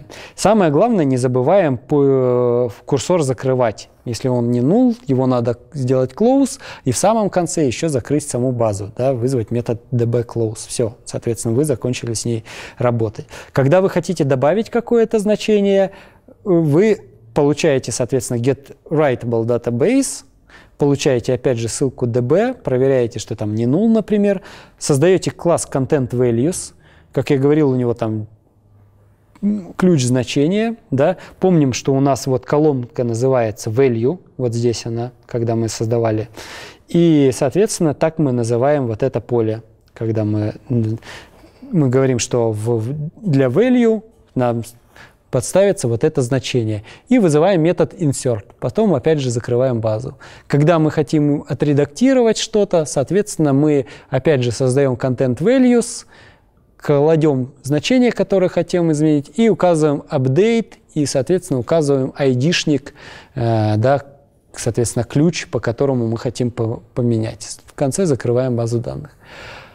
Когда вычитываем по нужной позиции getValue, соответственно, get readable database, курсор, как обычно, выполняем метод query, где мы говорим, что мы хотим из таблицы тест получить значение там ID и value, где ID, соответственно, совпадает с нашей позицией. Да? Это когда мы, соответственно, потому что у нас список, да, у нас инкрементируется значение от нуля до там, бесконечности, и, соответственно, мы их сопоставляем с позицией в списке. Соответственно, потом получаем целочисленное значение, а здесь string. Соответственно, тут у нас будет ключ, а здесь у нас будет value. Ну и, соответственно, проверяем исключение. Удаляйте по последнюю позицию, соответственно, что мы делаем? Получаем число наших записей, получаем writable database и говорим, что delete, соответственно, там последнее значение. Все. Больше нам ничего для этого не надо. Вот. В main activity, в самом, в, точнее в list адаптере, что мы делаем? Когда нам необходимо отобразить вьюшку, мы, соответственно, э, если у нас нету инфлейтера, там, инфлейтим, соответственно, layout, потом мы из db helper получаем вот это значение и его инсертим. Ну, тут самый простой пример, да, чтобы не усложнять вообще код, но, конечно, так делать не надо. Как я говорил, в идеале у вас должен отдельный поток быть, где, который работает с базой. И что вы здесь сделаете? Вы, когда пытаетесь вот это значение поставить, вы здесь, соответственно, создаете специальное сообщение, которое отправите в очередь, которая да, обслуживается этим потоком.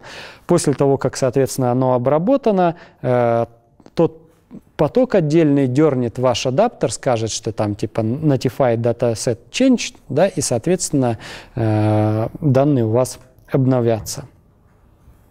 Вот такой пример. Ну, тоже, в принципе, все просто. Какие есть вопросы? Вот. Что-то непонятно или в целом все понятно? Ну, да, в, на самом деле, в принципе, работать с данными на андроиде достаточно легко. Да, ничего особо сложного нет.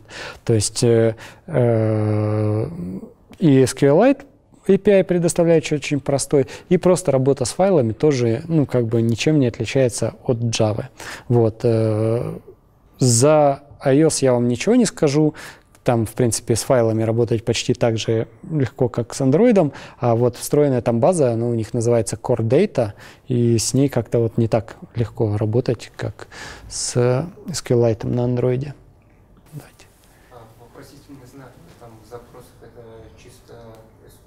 Э, э, да, да, это SQLite. То есть они требуют, чтобы у вас сигнатура такая была, да, то есть э, э, когда будет разбираться это выражение, они найдут эти знаки вопроса и подставят а туда.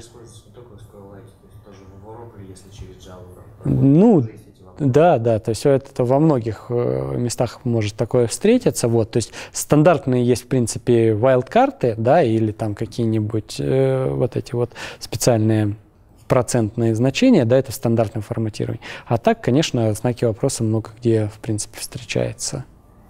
Да. А вообще подключают ли другие базы данных именно в самом Android, ну, в самом устройстве? То есть там Postgres загружает или еще что-то? Или же это нельзя делать вообще? Ну, Postgre я вообще не знаю, как можно там запустить, ну, при желании. Не, на самом деле просто есть, да, которые именно базы, которые, ну, именно для мобильных приложений, да, есть отдельные базы, которые, в принципе, в противовес SQLite. Создано, как я говорил, вот Realm, достаточно популярная есть. Просто это зависимость, которую вы добавляете в Build Gradle, да, это просто библиотека, и вы с ней просто работаете. Это на самом деле тоже будет просто там файлик специальный создан в специальном формате, и все. Вот SQLite, он на самом деле идет э, из платформы, то есть Да. Фреймворке доступен. Но вам, вас никто не ограничивает в том, чтобы подключить Да. свою версию SQLite. А, в платформе эта версия, она ну, достаточно не свежая. Мгм. А, живой проект SQLite, он сейчас там, на несколько версий вперед э, ушел, и там есть всякие прикольные фичи, которые недоступны из э, коробки из Android. Поэтому вы можете собрать себе э, эту библиотечку, ну, SQLite, собственно, и заюзать в своем приложении как внешнюю зависимость, использовать как так- базу данных с таким же интерфейсом, в общем-то. Вот. Можно подключать разные NoSQL д- базы данных. Там, насколько я знаю, вот CouchDB подключают Мгм. э, на Android. Но, в общем, варианты есть. А, я не, еще не, встречал прецедентов таких, но а, Android устройства, они не настолько хорошо а, работают с памятью, чтобы иметь какой-то профит от Tarantool а на нем. Поэтому а, Tarantool, он все-таки для мобильных устройств не очень. У него дру- другие задачи, да, выдерживать там большие нагрузки там, и так далее. А тут как бы, что вам надо? У вас один клиент. Все, все просто. Да, да. Вот мы сегодня говорили про файлы, потом говорили про базы данных, и над всем над этим есть еще одна надстройка, которая называется контент-провайдер, про который я сейчас расскажу.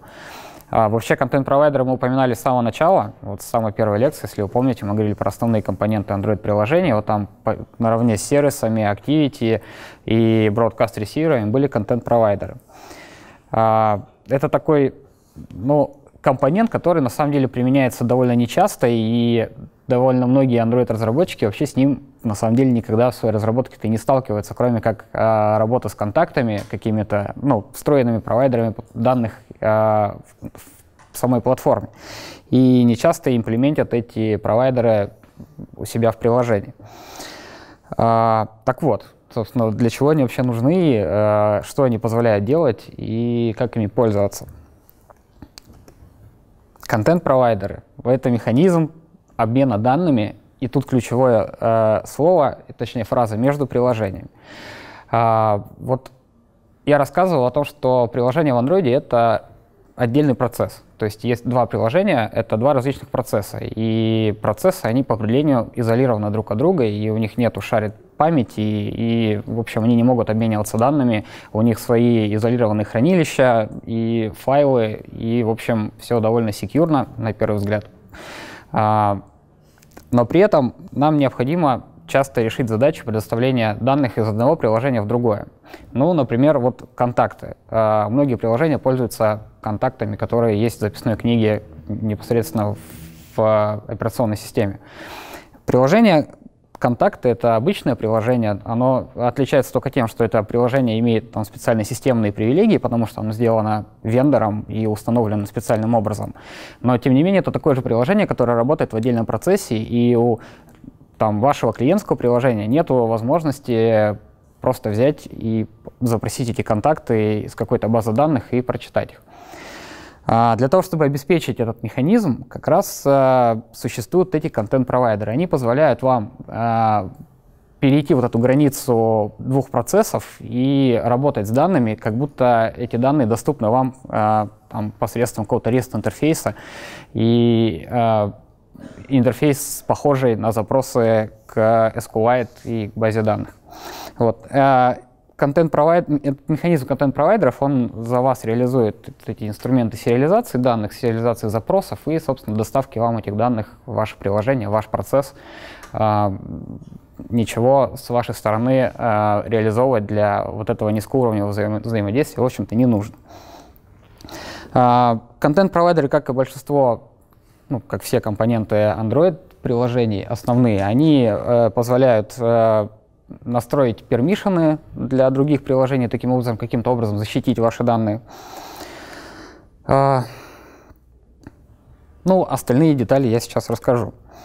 Э, как я уже сказал, контент-провайдер удобен тем, что он предоставляет что-то наподобие REST интерфейса э, для данных.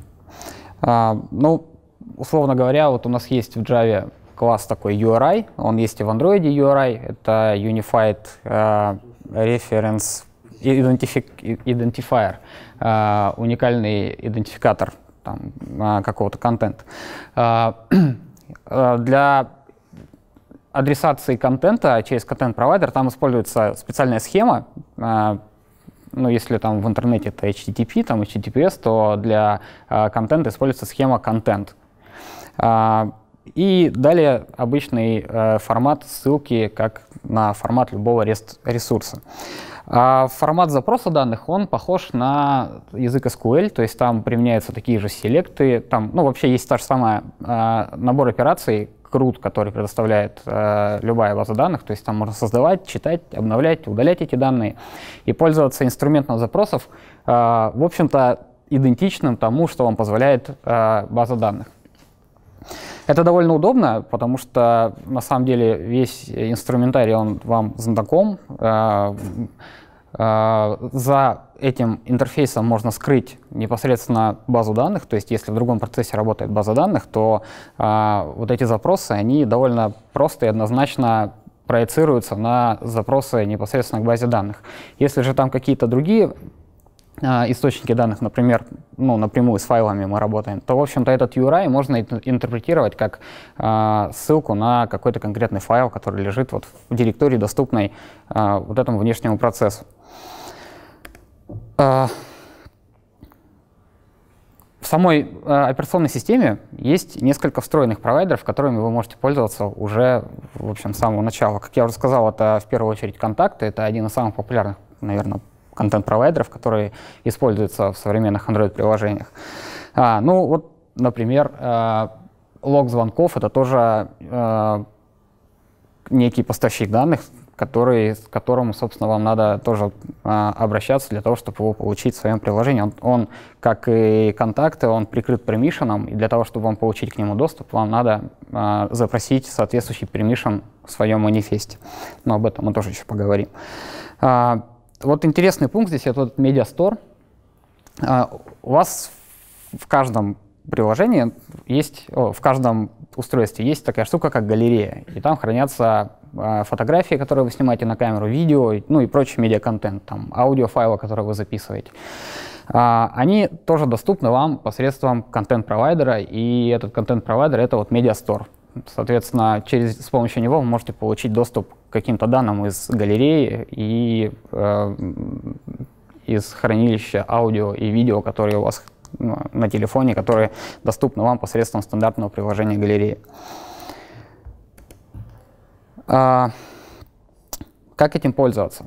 Ну, как я уже сказал, контент-провайдеры имеют э, возможность объявлять пермишины для доступа к ним, и все системные контент-провайдеры, они э, требуют для доступа к ним э, объявить пермишин в манифесте. Более того, если вы не объявляете permission в манифесте, реализуя собственный контент-провайдер в приложении, то он будет недоступен для других приложений. То есть он будет доступен в рамках вашего процесса, а другие процессы внешние не смогут получить к нему доступ. Он не будет опубликован. А, соответственно, вам необходимо а, объявить permission, сформировать корректный URI для доступа к э, контенту, ну и, собственно, получить данные в виде курсора. А, здесь уже, опять же, знакомый вам объект курсор, который возвращается при запросе к базе данных. Контент-провайдер возвращает точно такой же объект курсор. Вот это опять же, тоже сделано для того, чтобы унифицировать доступ и э, как, ну, единообразно работать с э, локальной базой данных и с контент-провайдерами и базами данных, которые доступны в других процессах и в других приложениях. Э, про permission мы уже говорили. Э, ну вот если посмотреть на вот эту строчку, то здесь объявлен permission для доступа к контент-провайдеру пользовательского словаря. А, наверняка вы не знали, но в операционной системе есть пользовательский словарь. А, там хранятся какие-то слова, которые добавляют пользователи. Там есть э, частота использования тех или иных слов. Вот. А, в общем, да, он такой есть, и у него есть permission вот read user dictionary. Вот этот permission — это permission для чтения контактов, соответственно. Когда пользователь ставит приложение из маркета, он увидит, что данное приложение запрашивает эти пермишины, и, в общем, он может оценить, насколько важно для него а, дать доступ к этим а, источникам данных для этого приложения. Здесь еще важно понимать, что а, permission на контент-провайдер нельзя запросить на рантайме. То есть если вам необходим какой-то а, источник данных, то вам необходимо в манифесте определить пермишины, и они будут получены при установке приложения. Вот на рантайме, к сожалению, э, дать этот permission будет уже э, невозможно. Э, схема формирования URI, она тоже соответственно, ну, у нее есть некие, некие правила формирования этой схемы, и она состоит из двух частей. Первая часть — это authority, это так называемый идентификатор самого ресурса. Вторая часть — это непосредственно какая-то таблица э, или сам э, конкретный источник данных, который вы хотите получить. Если проецировать это на базы данных, то вот первая часть authority — это непосредственно имя базы данных, к которой вы обращаетесь, а вторая часть content — это условно таблица. А, в операционной системе есть специальный компонент, Package Manager, который э, управляет доступом к данным и который соответств, э, ставит соответствие вот этот URI Authority к, э, с контент-провайдером в вашем приложении или в каком-то другом приложении, в другом процессе. Так вот, вот этот вот Authority — это как раз есть ключ в этой мапе между э, ну, вот этим значением и источником данных в другом процессе. По этому ключу, собственно, вы получаете доступ к конкретному приложению, к конкретному источнику данных там, в другом процессе или к другому процессу. А э, вторая часть, она разбирается непосредственно с самим приложением, э, которое обрабатывает вот этот вот запрос. И внутри себя уже он определяет, из каких данных, каких источников или из каких таблиц вернуть вам данные в ответ на ваш запрос. А, довольно часто в URI используется схема, когда нам необходимо получить ресурс по ID. А, это тоже очень распространенный запрос в контексте вот, контент-провайдеров. И есть даже а, специальный, специальный класс с утильными методами, который позволяет какому-либо любому URI добавить атрибут ID. Есть стандартный атрибут нижнее подчеркивание ID, а, вот, и, в общем, URI с ID выглядит следующим образом. Ну, схема контент — это authority, это тип таблицы, и числовое значение — это ID элемента, который мы запрашиваем вот из этого источника данных. Для того, чтобы запросить данные, у нас есть уже известный метод query. Этот метод отличается от метода query, который мы используем в базе данных, тем, что у нас вот здесь вот появляется новый параметр, который называется URI. Остальное все точно такое же, как мы используем при запросе к базе данных. У нас есть тот же projection, у нас есть те же selection, а, аргументы и порядок сортировки. А, сигнатура ну, один в один совпадает с а, сигнатурой запроса к базе данных, ну, кроме там грубая и вот этого всего, потому что все-таки это не запрос к реляционной базе данных. Вот этот URI — это как раз идентификатор ресурса. По нему а, мы поймем, в какой контент-провайдер и в какую таблицу нам надо сделать запрос вот э, с этими условиями. Так, ну, здесь Понятно, что мы должны использовать те же подстановки, те же вопросики, вот, чтобы избежать SQL injection, если за контент-провайдером лежит непосредственно база данных, которая поддерживает какие-то SQL-запросы. А, вот здесь все а, правила, которые действуют на запросы к базе данных, они сюда же распространяются тоже. А, ну вот здесь пример запроса к, провайдеру. Так, а, вот метод query, и он возвращает курсор. В общем, здесь больше важного ничего нет, надо, посмотреть вот на эту строчку. А, здесь есть интересный метод getContentResolver. Сейчас я про него расскажу, что такое контент-резолвер. Как я уже говорил, контент-провайдеры а, позволяют обмениваться данными между процессами а, ну, между разными процессами, между разными приложениями. Так вот, для того, чтобы э, обеспечить этот обмен данными, нам необходимо, чтобы в одном приложении был какой-то инструмент, который позволяет эти данные выбирать, а в другом процессе кто-то, кто мог бы эти данные получить и обработать. То есть мы не можем из одного процесса, из одного приложения напрямую обратиться к контент-провайдеру в другом процессе. Нам необходимо, чтобы наш запрос как-то сериализовали и отправили по механизму binder а э, в соседний процесс. Так вот, э, вот эту задачу решает такой инструмент, как content resolver. Content resolver вы можете получить там, из контекста а, вашего приложения. И когда вы в него передаете URI, там, собственно, вся магия и происходит. Content resolver идет в Package Manager а, с этим URI. А, Package Manager для него ищет content provider в другом процессе ну, соединяет их, то есть там происходит как раз вот этот mapping, а, то, что мы рассказывали про AIDL и в контексте сервисов, когда есть прокси, когда есть binder, они а, с друг другом взаимодействуют, тем, ну, получая ссылки друг на друга.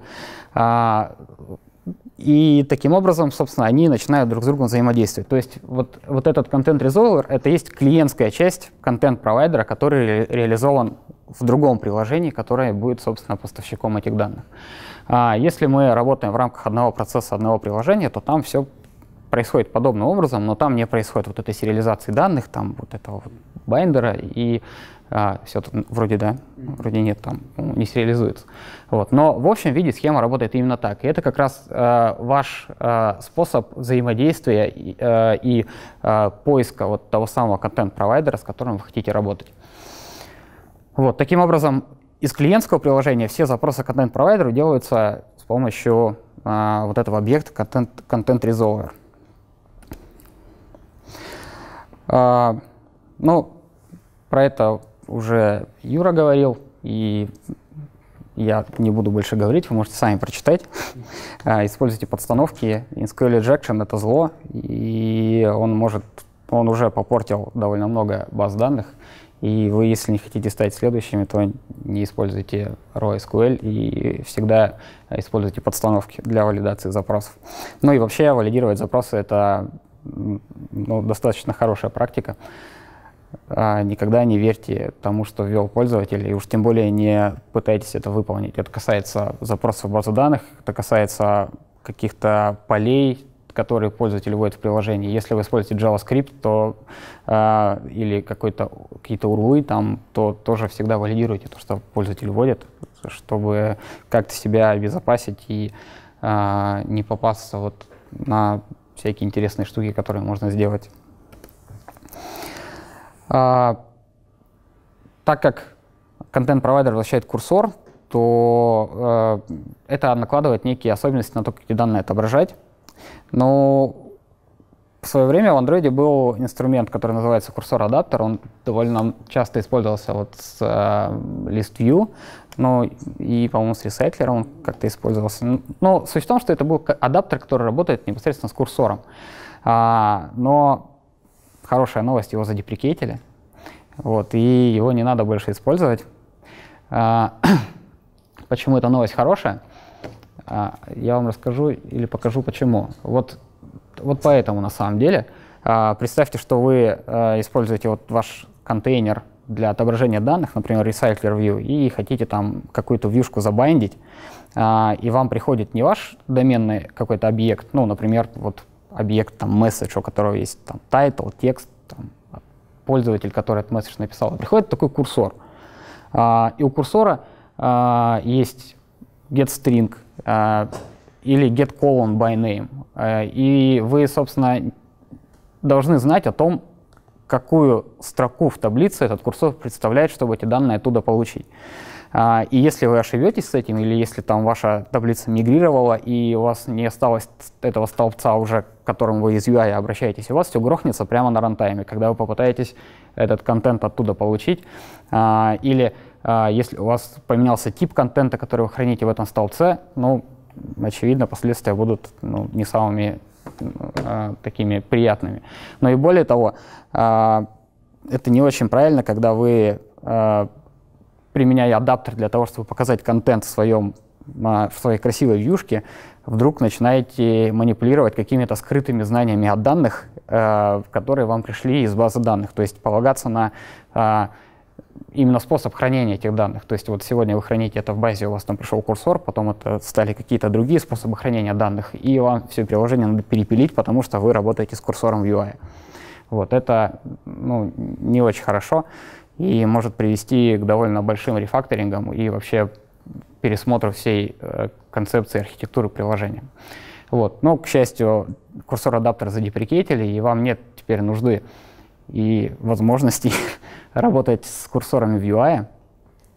А, поэтому мы также будем работать с, с контейнер view, со списочными вот этими UI-элементами, только обрабатывать курсоры нужно где-то а, где-то там,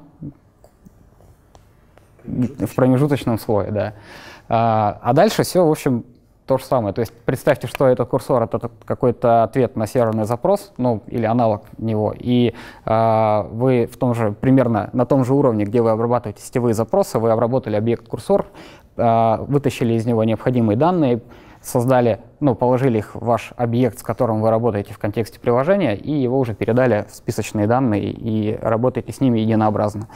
Это позволит вам работать одинаково с данными, которые вы получили с контент-провайдера, из базы данных, из сервера, и, в общем-то, не знать об этом источнике данных. А, и вы можете добавить базу данных, убрать ее, можете добавить сервер, там, ремоут, убрать его, и для вашего UI ничего не изменится, вам не придется все это переделывать, оно будет все работать из коробки. А, супер, классно, удобно, все счастливы.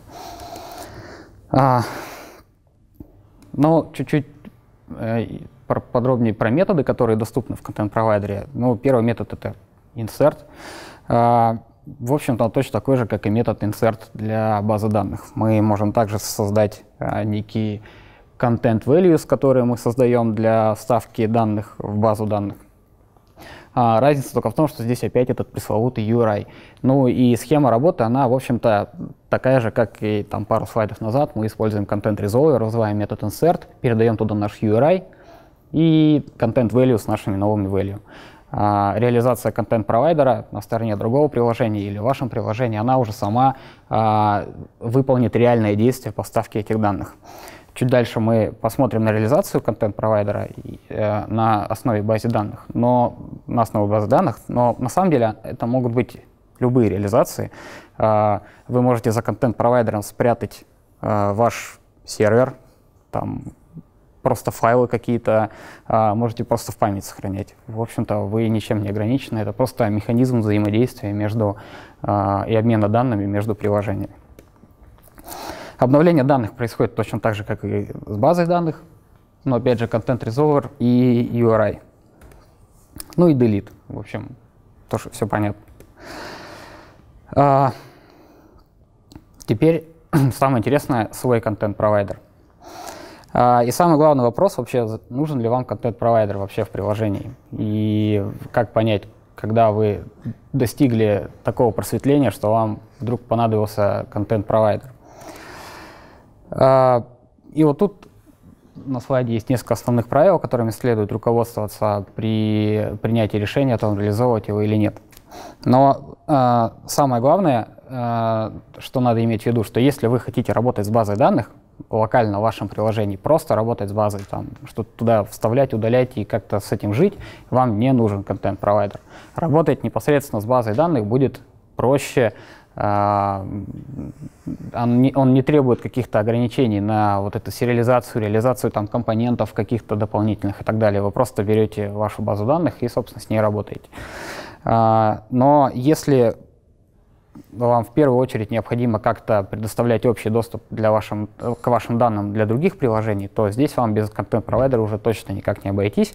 И, например, приложение пресловутое приложение почты Mail.ru, а, оно имеет свою базу данных контактов, и для того, чтобы другие приложения могли работать с этой базой данных контактов, мы как раз используем контент-провайдер для контактов. Таким образом, наши э, другие там, приложения не почтовые могут к, этим, к этой базе данных обратиться и, в общем, эти контакты получить.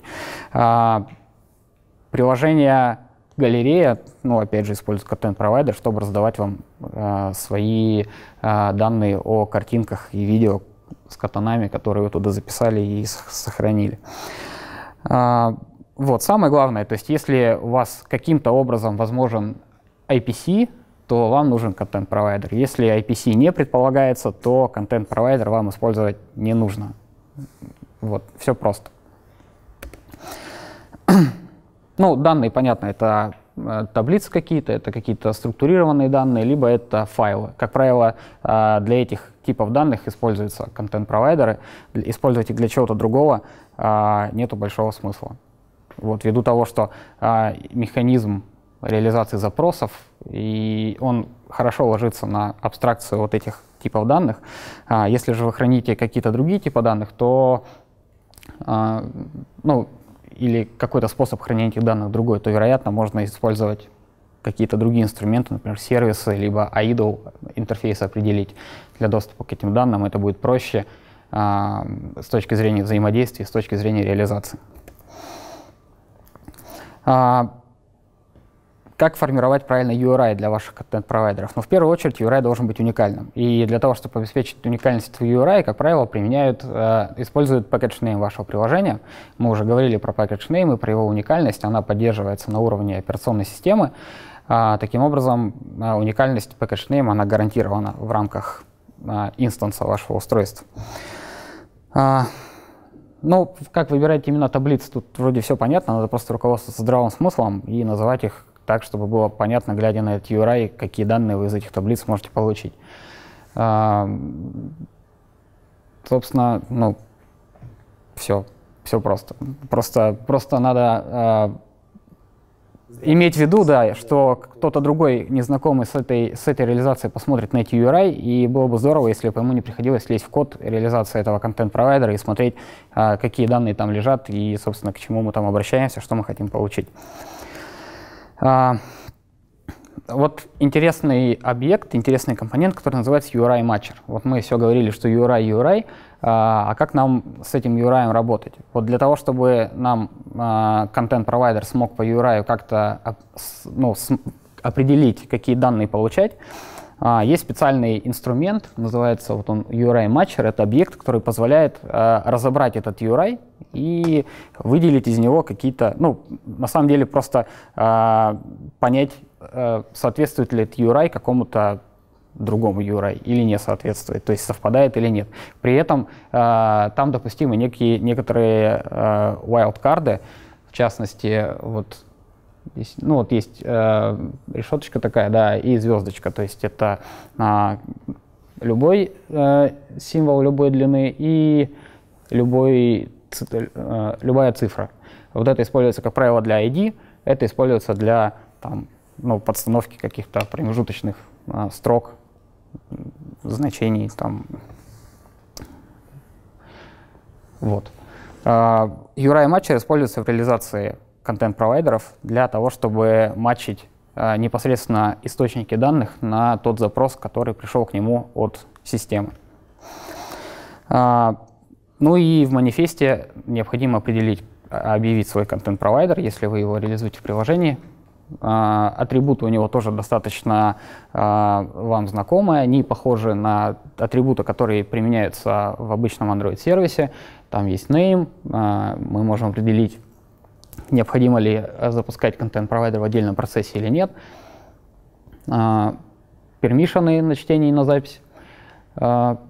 И самое главное, это authorities. Это, собственно, корень, основной идентификатор для нашего контент-провайдера. Для реализации своего контент-провайдера нам надо отнаследоваться от класса контент-провайдер. У него есть э, обязательный метод для реализации, это метод onCreate. Собственно, а, важно знать, что этот метод, а, onCreate на контент-провайдере вызовется даже до метода onCreate в вашем приложении. То есть контент-провайдер — это первый объект, который создается при запуске Android-приложения. А, вот. И в методе onCreate, как правило, если мы работаем с базой данных, мы создаем DB-helper.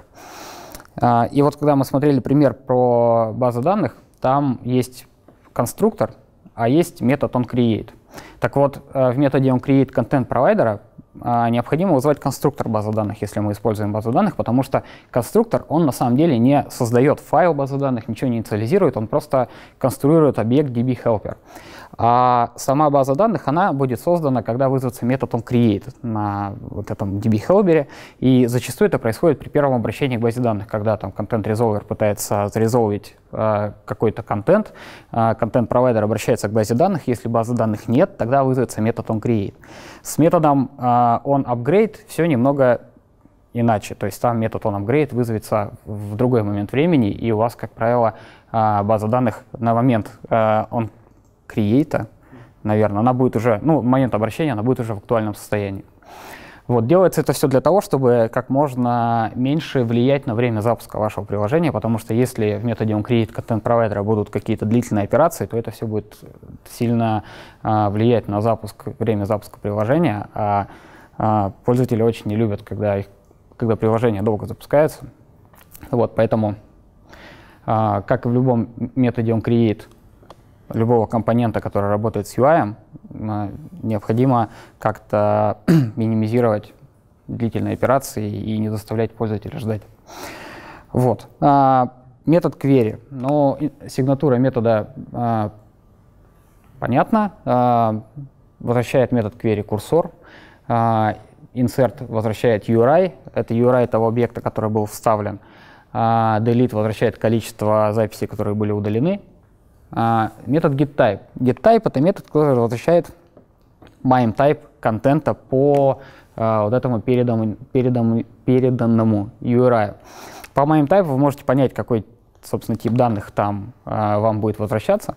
А, про конвенцию вот этих типов данных я расскажу в конце. Там есть два типа MIME-type, которые э, приняты в Android для списка элементов, ну, для директории какой-то, и для непосредственно элемента, который возвращается этим контент-провайдером.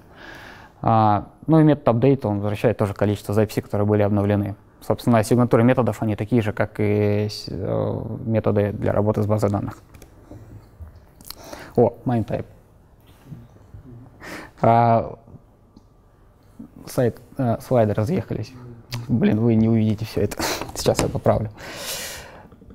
Наверное.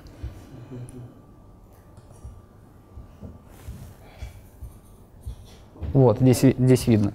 А, есть некая конвенция э, именования MIME-тайпов в, в операционной системе, и, э, в общем, они начинаются с трех букв VN, VND, типа вендор, наверное, ну да, такая аббревиатура. А, дальше там Android курсор, и item это для одного элемента, для одной строки записи, либо э, Android курсор dir для более чем одной записи для списка элементов. Вот, и когда к вам, к вашему контент-провайдеру э, кто-то приходит с запросом getMineType, вы можете вернуть э, тип, что это директория, и подтип — это э, ваш ну, тип объектов, которые вы возвращаете. То есть, вот, ну, в частности, пример здесь мы возвращаем список элементов, э, тип у него VND Android курсор dir, и э, подтип — это example provider table 1. То есть мы на клиенте можем понять, сколько элементов и каких нам вернется. Это аналог вот, а, там, текст HTML, когда мы делаем запрос какому-то ну, веб-сервису, чтобы понять, какой контент нам придет и что нам, собственно, там обрабатывать. Вот. А, то есть по, по этому типу вы просто можете понять, какие данные вам ожидать по запросу с этим а, URI тому или иному контент-провайдеру. Ну, вот тут есть примеры, которые используются в вебе. Проблема довольно известная, но, опять же, SQL injections, э, избегайте SQL injections и э, несанкционированный доступ защищайте контент-провайдеры пермишенами. Э, но, опять же, тут тоже все довольно очевидно. Если нет пермишена, то контент-провайдер недоступен. Поэтому, в общем-то, вы здесь уже в какой-то степени защищены самой реализацией э, механизма доступа к контент-провайдерам в операционной системе. То есть для того, чтобы его сделать доступным, вам необходимо определить permission. Ну и, э, как к любому permission, необходимо не ошибаться а, в строке в идентификации permission, когда вы используете его в клиентском приложении, иначе его не загрантят. Вот. Осталось чуть-чуть. Сейчас я вам покажу, как э, контент-провайдер работает на практике, э, что надо написать в коде, чтобы оно завелось и как оно работает. А, у меня очень простое приложение. Там есть четыре кнопки.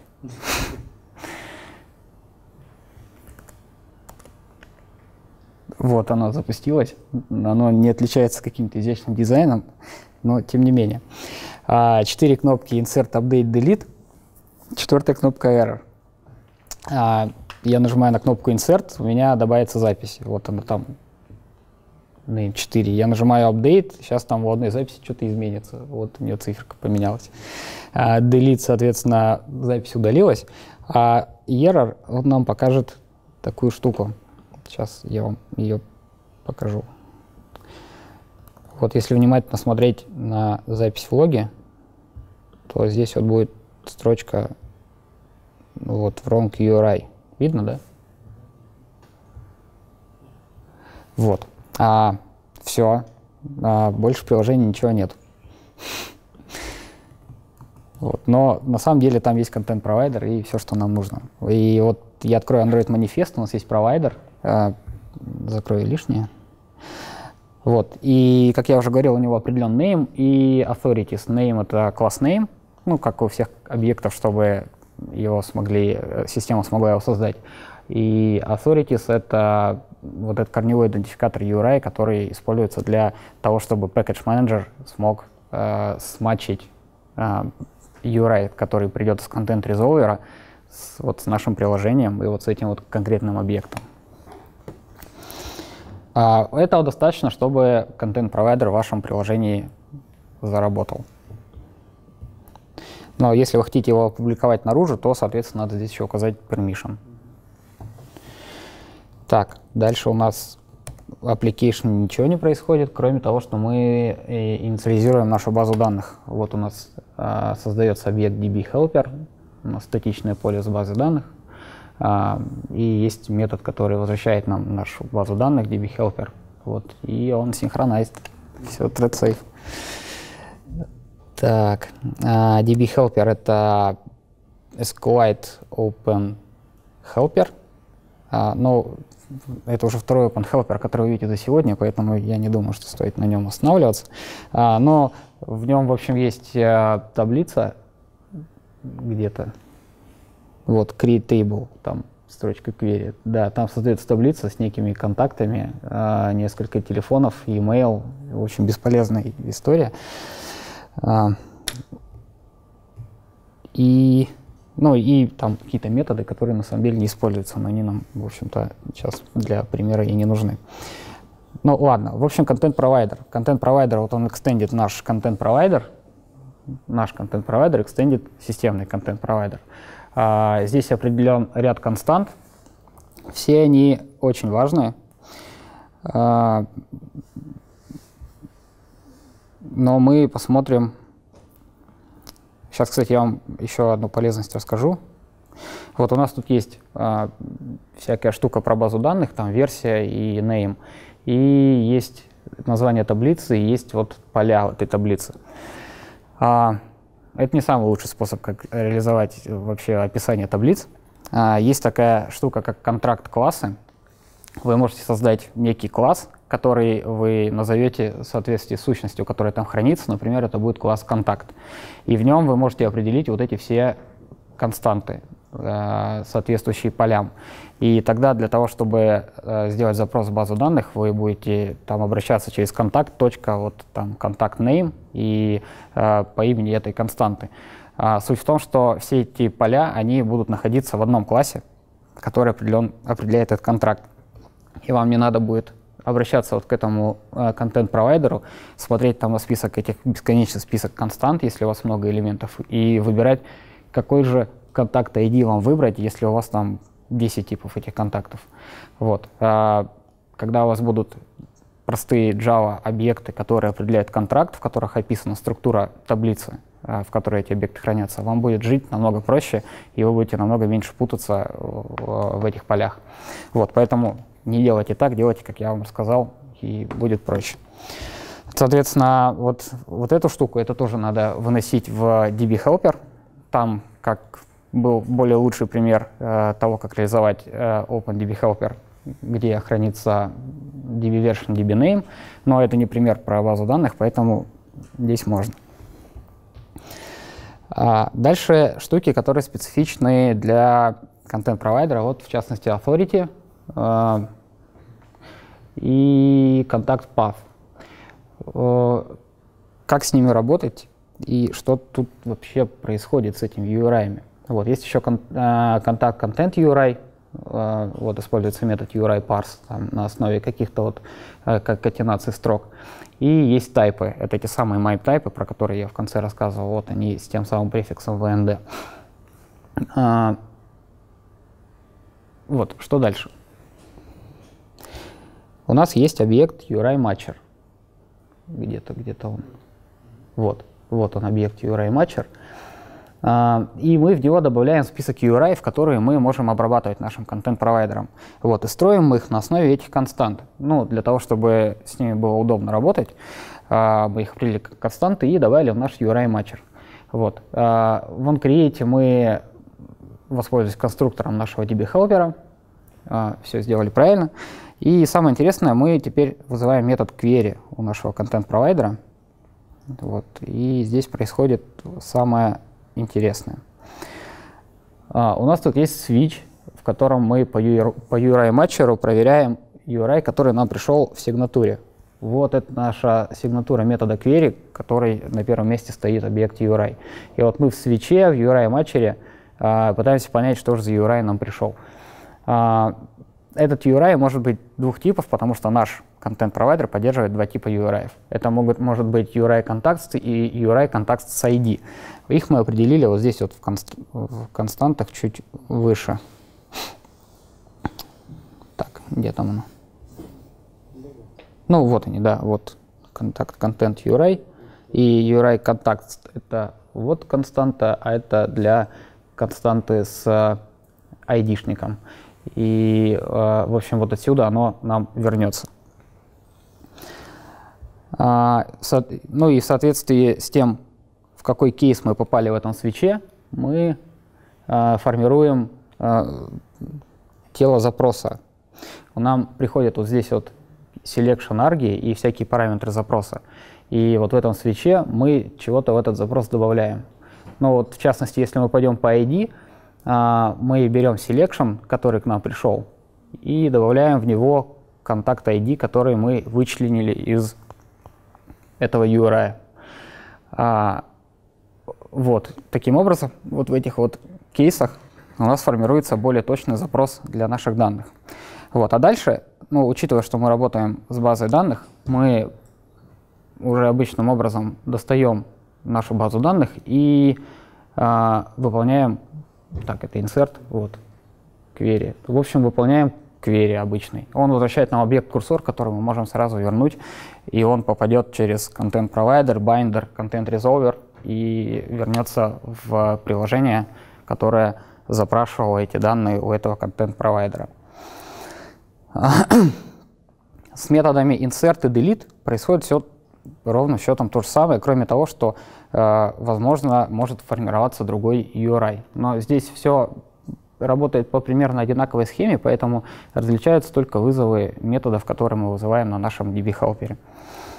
А, ну и, соответственно, возвращаемые значения, они из DB-хелпера возвращаются в соответствии с тем, что и ожидает наш контент-провайдер. А, метод getType.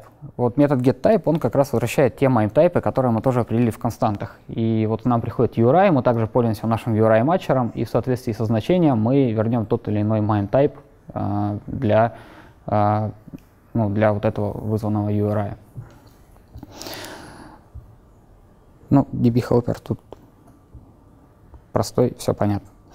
А дальше у нас есть main activity, в которой на самом деле у нас фраг во фрагмент менеджер добавляется фрагмент, лист фрагмент, а в этом фрагменте мы работаем с нашим контент-провайдером. Вот четыре кнопки наших и лист view.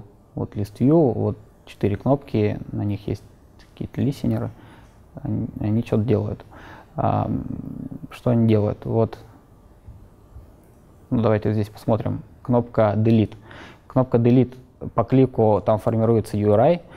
Вот контент URIs — это вот тот самый вспомогательный класс, который позволяет э, к URI добавить э, ID. Ну, вот это стандартная схема, которая приписывает ID-шник. Э, контакт URI — это, ну, собственно, константа, э, и ID-шник, который мы удаляем. Вот. А дальше мы из Activity берем тот самый Content Resolver, вызываем на нем метод delete, я смогу, метод delete, передаем туда URI. А, каких-то специальных а, параметров для того, чтобы что-то заселектить или какие-то арги туда передать нам а, не требуется. Поэтому нам достаточно URI, URI в себе содержит уже ID объекта, который нам надо удалить. А, поэтому здесь мы передаем null, и, и все. Возвращается интовое значение, мы его напишем в лог. А, что происходит по error? По error мы создаем а, URI, который не мачится нашим контент-провайдером. И если мы пойдем с этим контент с этим URI к нашему контент-резолверу и попробуем что-нибудь закверить, нам, у нас будет exception. А exception будет, потому что там возвращается illegal state на, в том случае, если мы не смогли смачить URI в нашем свече. Uh, вот. Понятно, как это работает? Вы можете о чем-нибудь спросить. Не, ну на самом деле в целом штука довольно простая, просто очень редко используется. Да, она, ну в общем это такая надстройка над всеми механизмами хранения данных, которая помимо всего прочего обеспечивает вам еще и IPC. Вот, и это ее самая главная функция, самая главная фича. А, именно для этого его стоит использовать. Для всего остального есть более удобные, более простые, более гибкие способы файлы, базы данных, шарит префы, память, в конце концов, удаленный сервер, вот, все что угодно. Но если IPC, то вот. Э, я знаю способы нетрадиционного использования контент-провайдера. Многие библиотеки, в частности, например, Facebook SDK, у них есть свой контент-провайдер. Вот, единственное, вы должны указать там свой authority, потому что он не должен совпадать. Э, для чего они это сделаны? Э, для того, чтобы упростить механизм инициализации SDK, да, как Кирилл вот уже упоминал, контент-провайдеры создаются в самом начале запуска приложения, да, еще до запуска какой-либо из Activity, еще даже до класса э, Application on Create создается провайдер. И вот создается их служебный провайдер Facebook, и они там инициализируют свой SDK. Они с манифеста вычитывают ваш Application ID, там свой ключ и так далее, все инициализируют, а для разработчика стороннего э, фактически ничего не надо делать, просто подключить э, библиотеку Facebook и в своем Android манифесте прописать там две строчки типа Facebook Application ID и там какой-то еще параметр, и все. А дальше магия. Если вы думаете, что это хорошая идея, да. то нет, нет, это плохая идея. Так делать не надо. Но Facebook много чего делает так очень странного, у них вообще и странные SDK. Вот. Но это один, например, из способов, как можно тоже. Да, ну да, вот за контент-провайдерами прячут еще э, ремоут-сервера. Э, мы чуть попозже поговорим про такой механизм, как лодеры в Android. Это инструменты загрузки данных. Они позволяют э, с, источниками данных, сейчас я говорю без привязки к контент-провайдерам, с любыми источниками данных работать э, удобно с точки зрения жизненного цикла UI-компонентов. То есть они там связаны с UI, с фрагментом, с которым они работают, и они обрабатывают все события жизненного цикла, а еще они умеют подписываться на события от, об изменении данных. Если что-то меняется, они могут эти данные автоматически обновить на экране. А, так вот, контент-провайдеры довольно хорошо сочетаются с этими лодерами, и довольно часто их используют как раз вот в такой связке, что у нас вот есть лодер, есть контент-провайдер, и лодеры, они бывают э, асинхронными, ну, то есть они работают в другом потоке, только с UI работают в UI. А, и все запросы контент-провайдера на самом деле надо делать в бэкграунд потоке, не, не грузить этими запросами UI. Вот. И лоудеры, они имеют довольно простой интерфейс, они легко сочетаются с жизненным циклом и легко уводят вот эту всю тяжелую работу с контент-провайдером из UI-потока туда куда-то в бэкграунд. А, в общем, работает просто, сделать легко, а, UI не грузит, и довольно частый кейс использования как раз вот в такой связке. Да, и там есть курсор loader, класс сразу, который Да, предназначен и- для работы с И- курсором. Да, и как, как связать курсор с UI более правильным способом, это вот курсор лодер как раз из инструментария загрузчиков, ну, из, из инструментария лодеров в Android. Ну, все, это да. всё, да.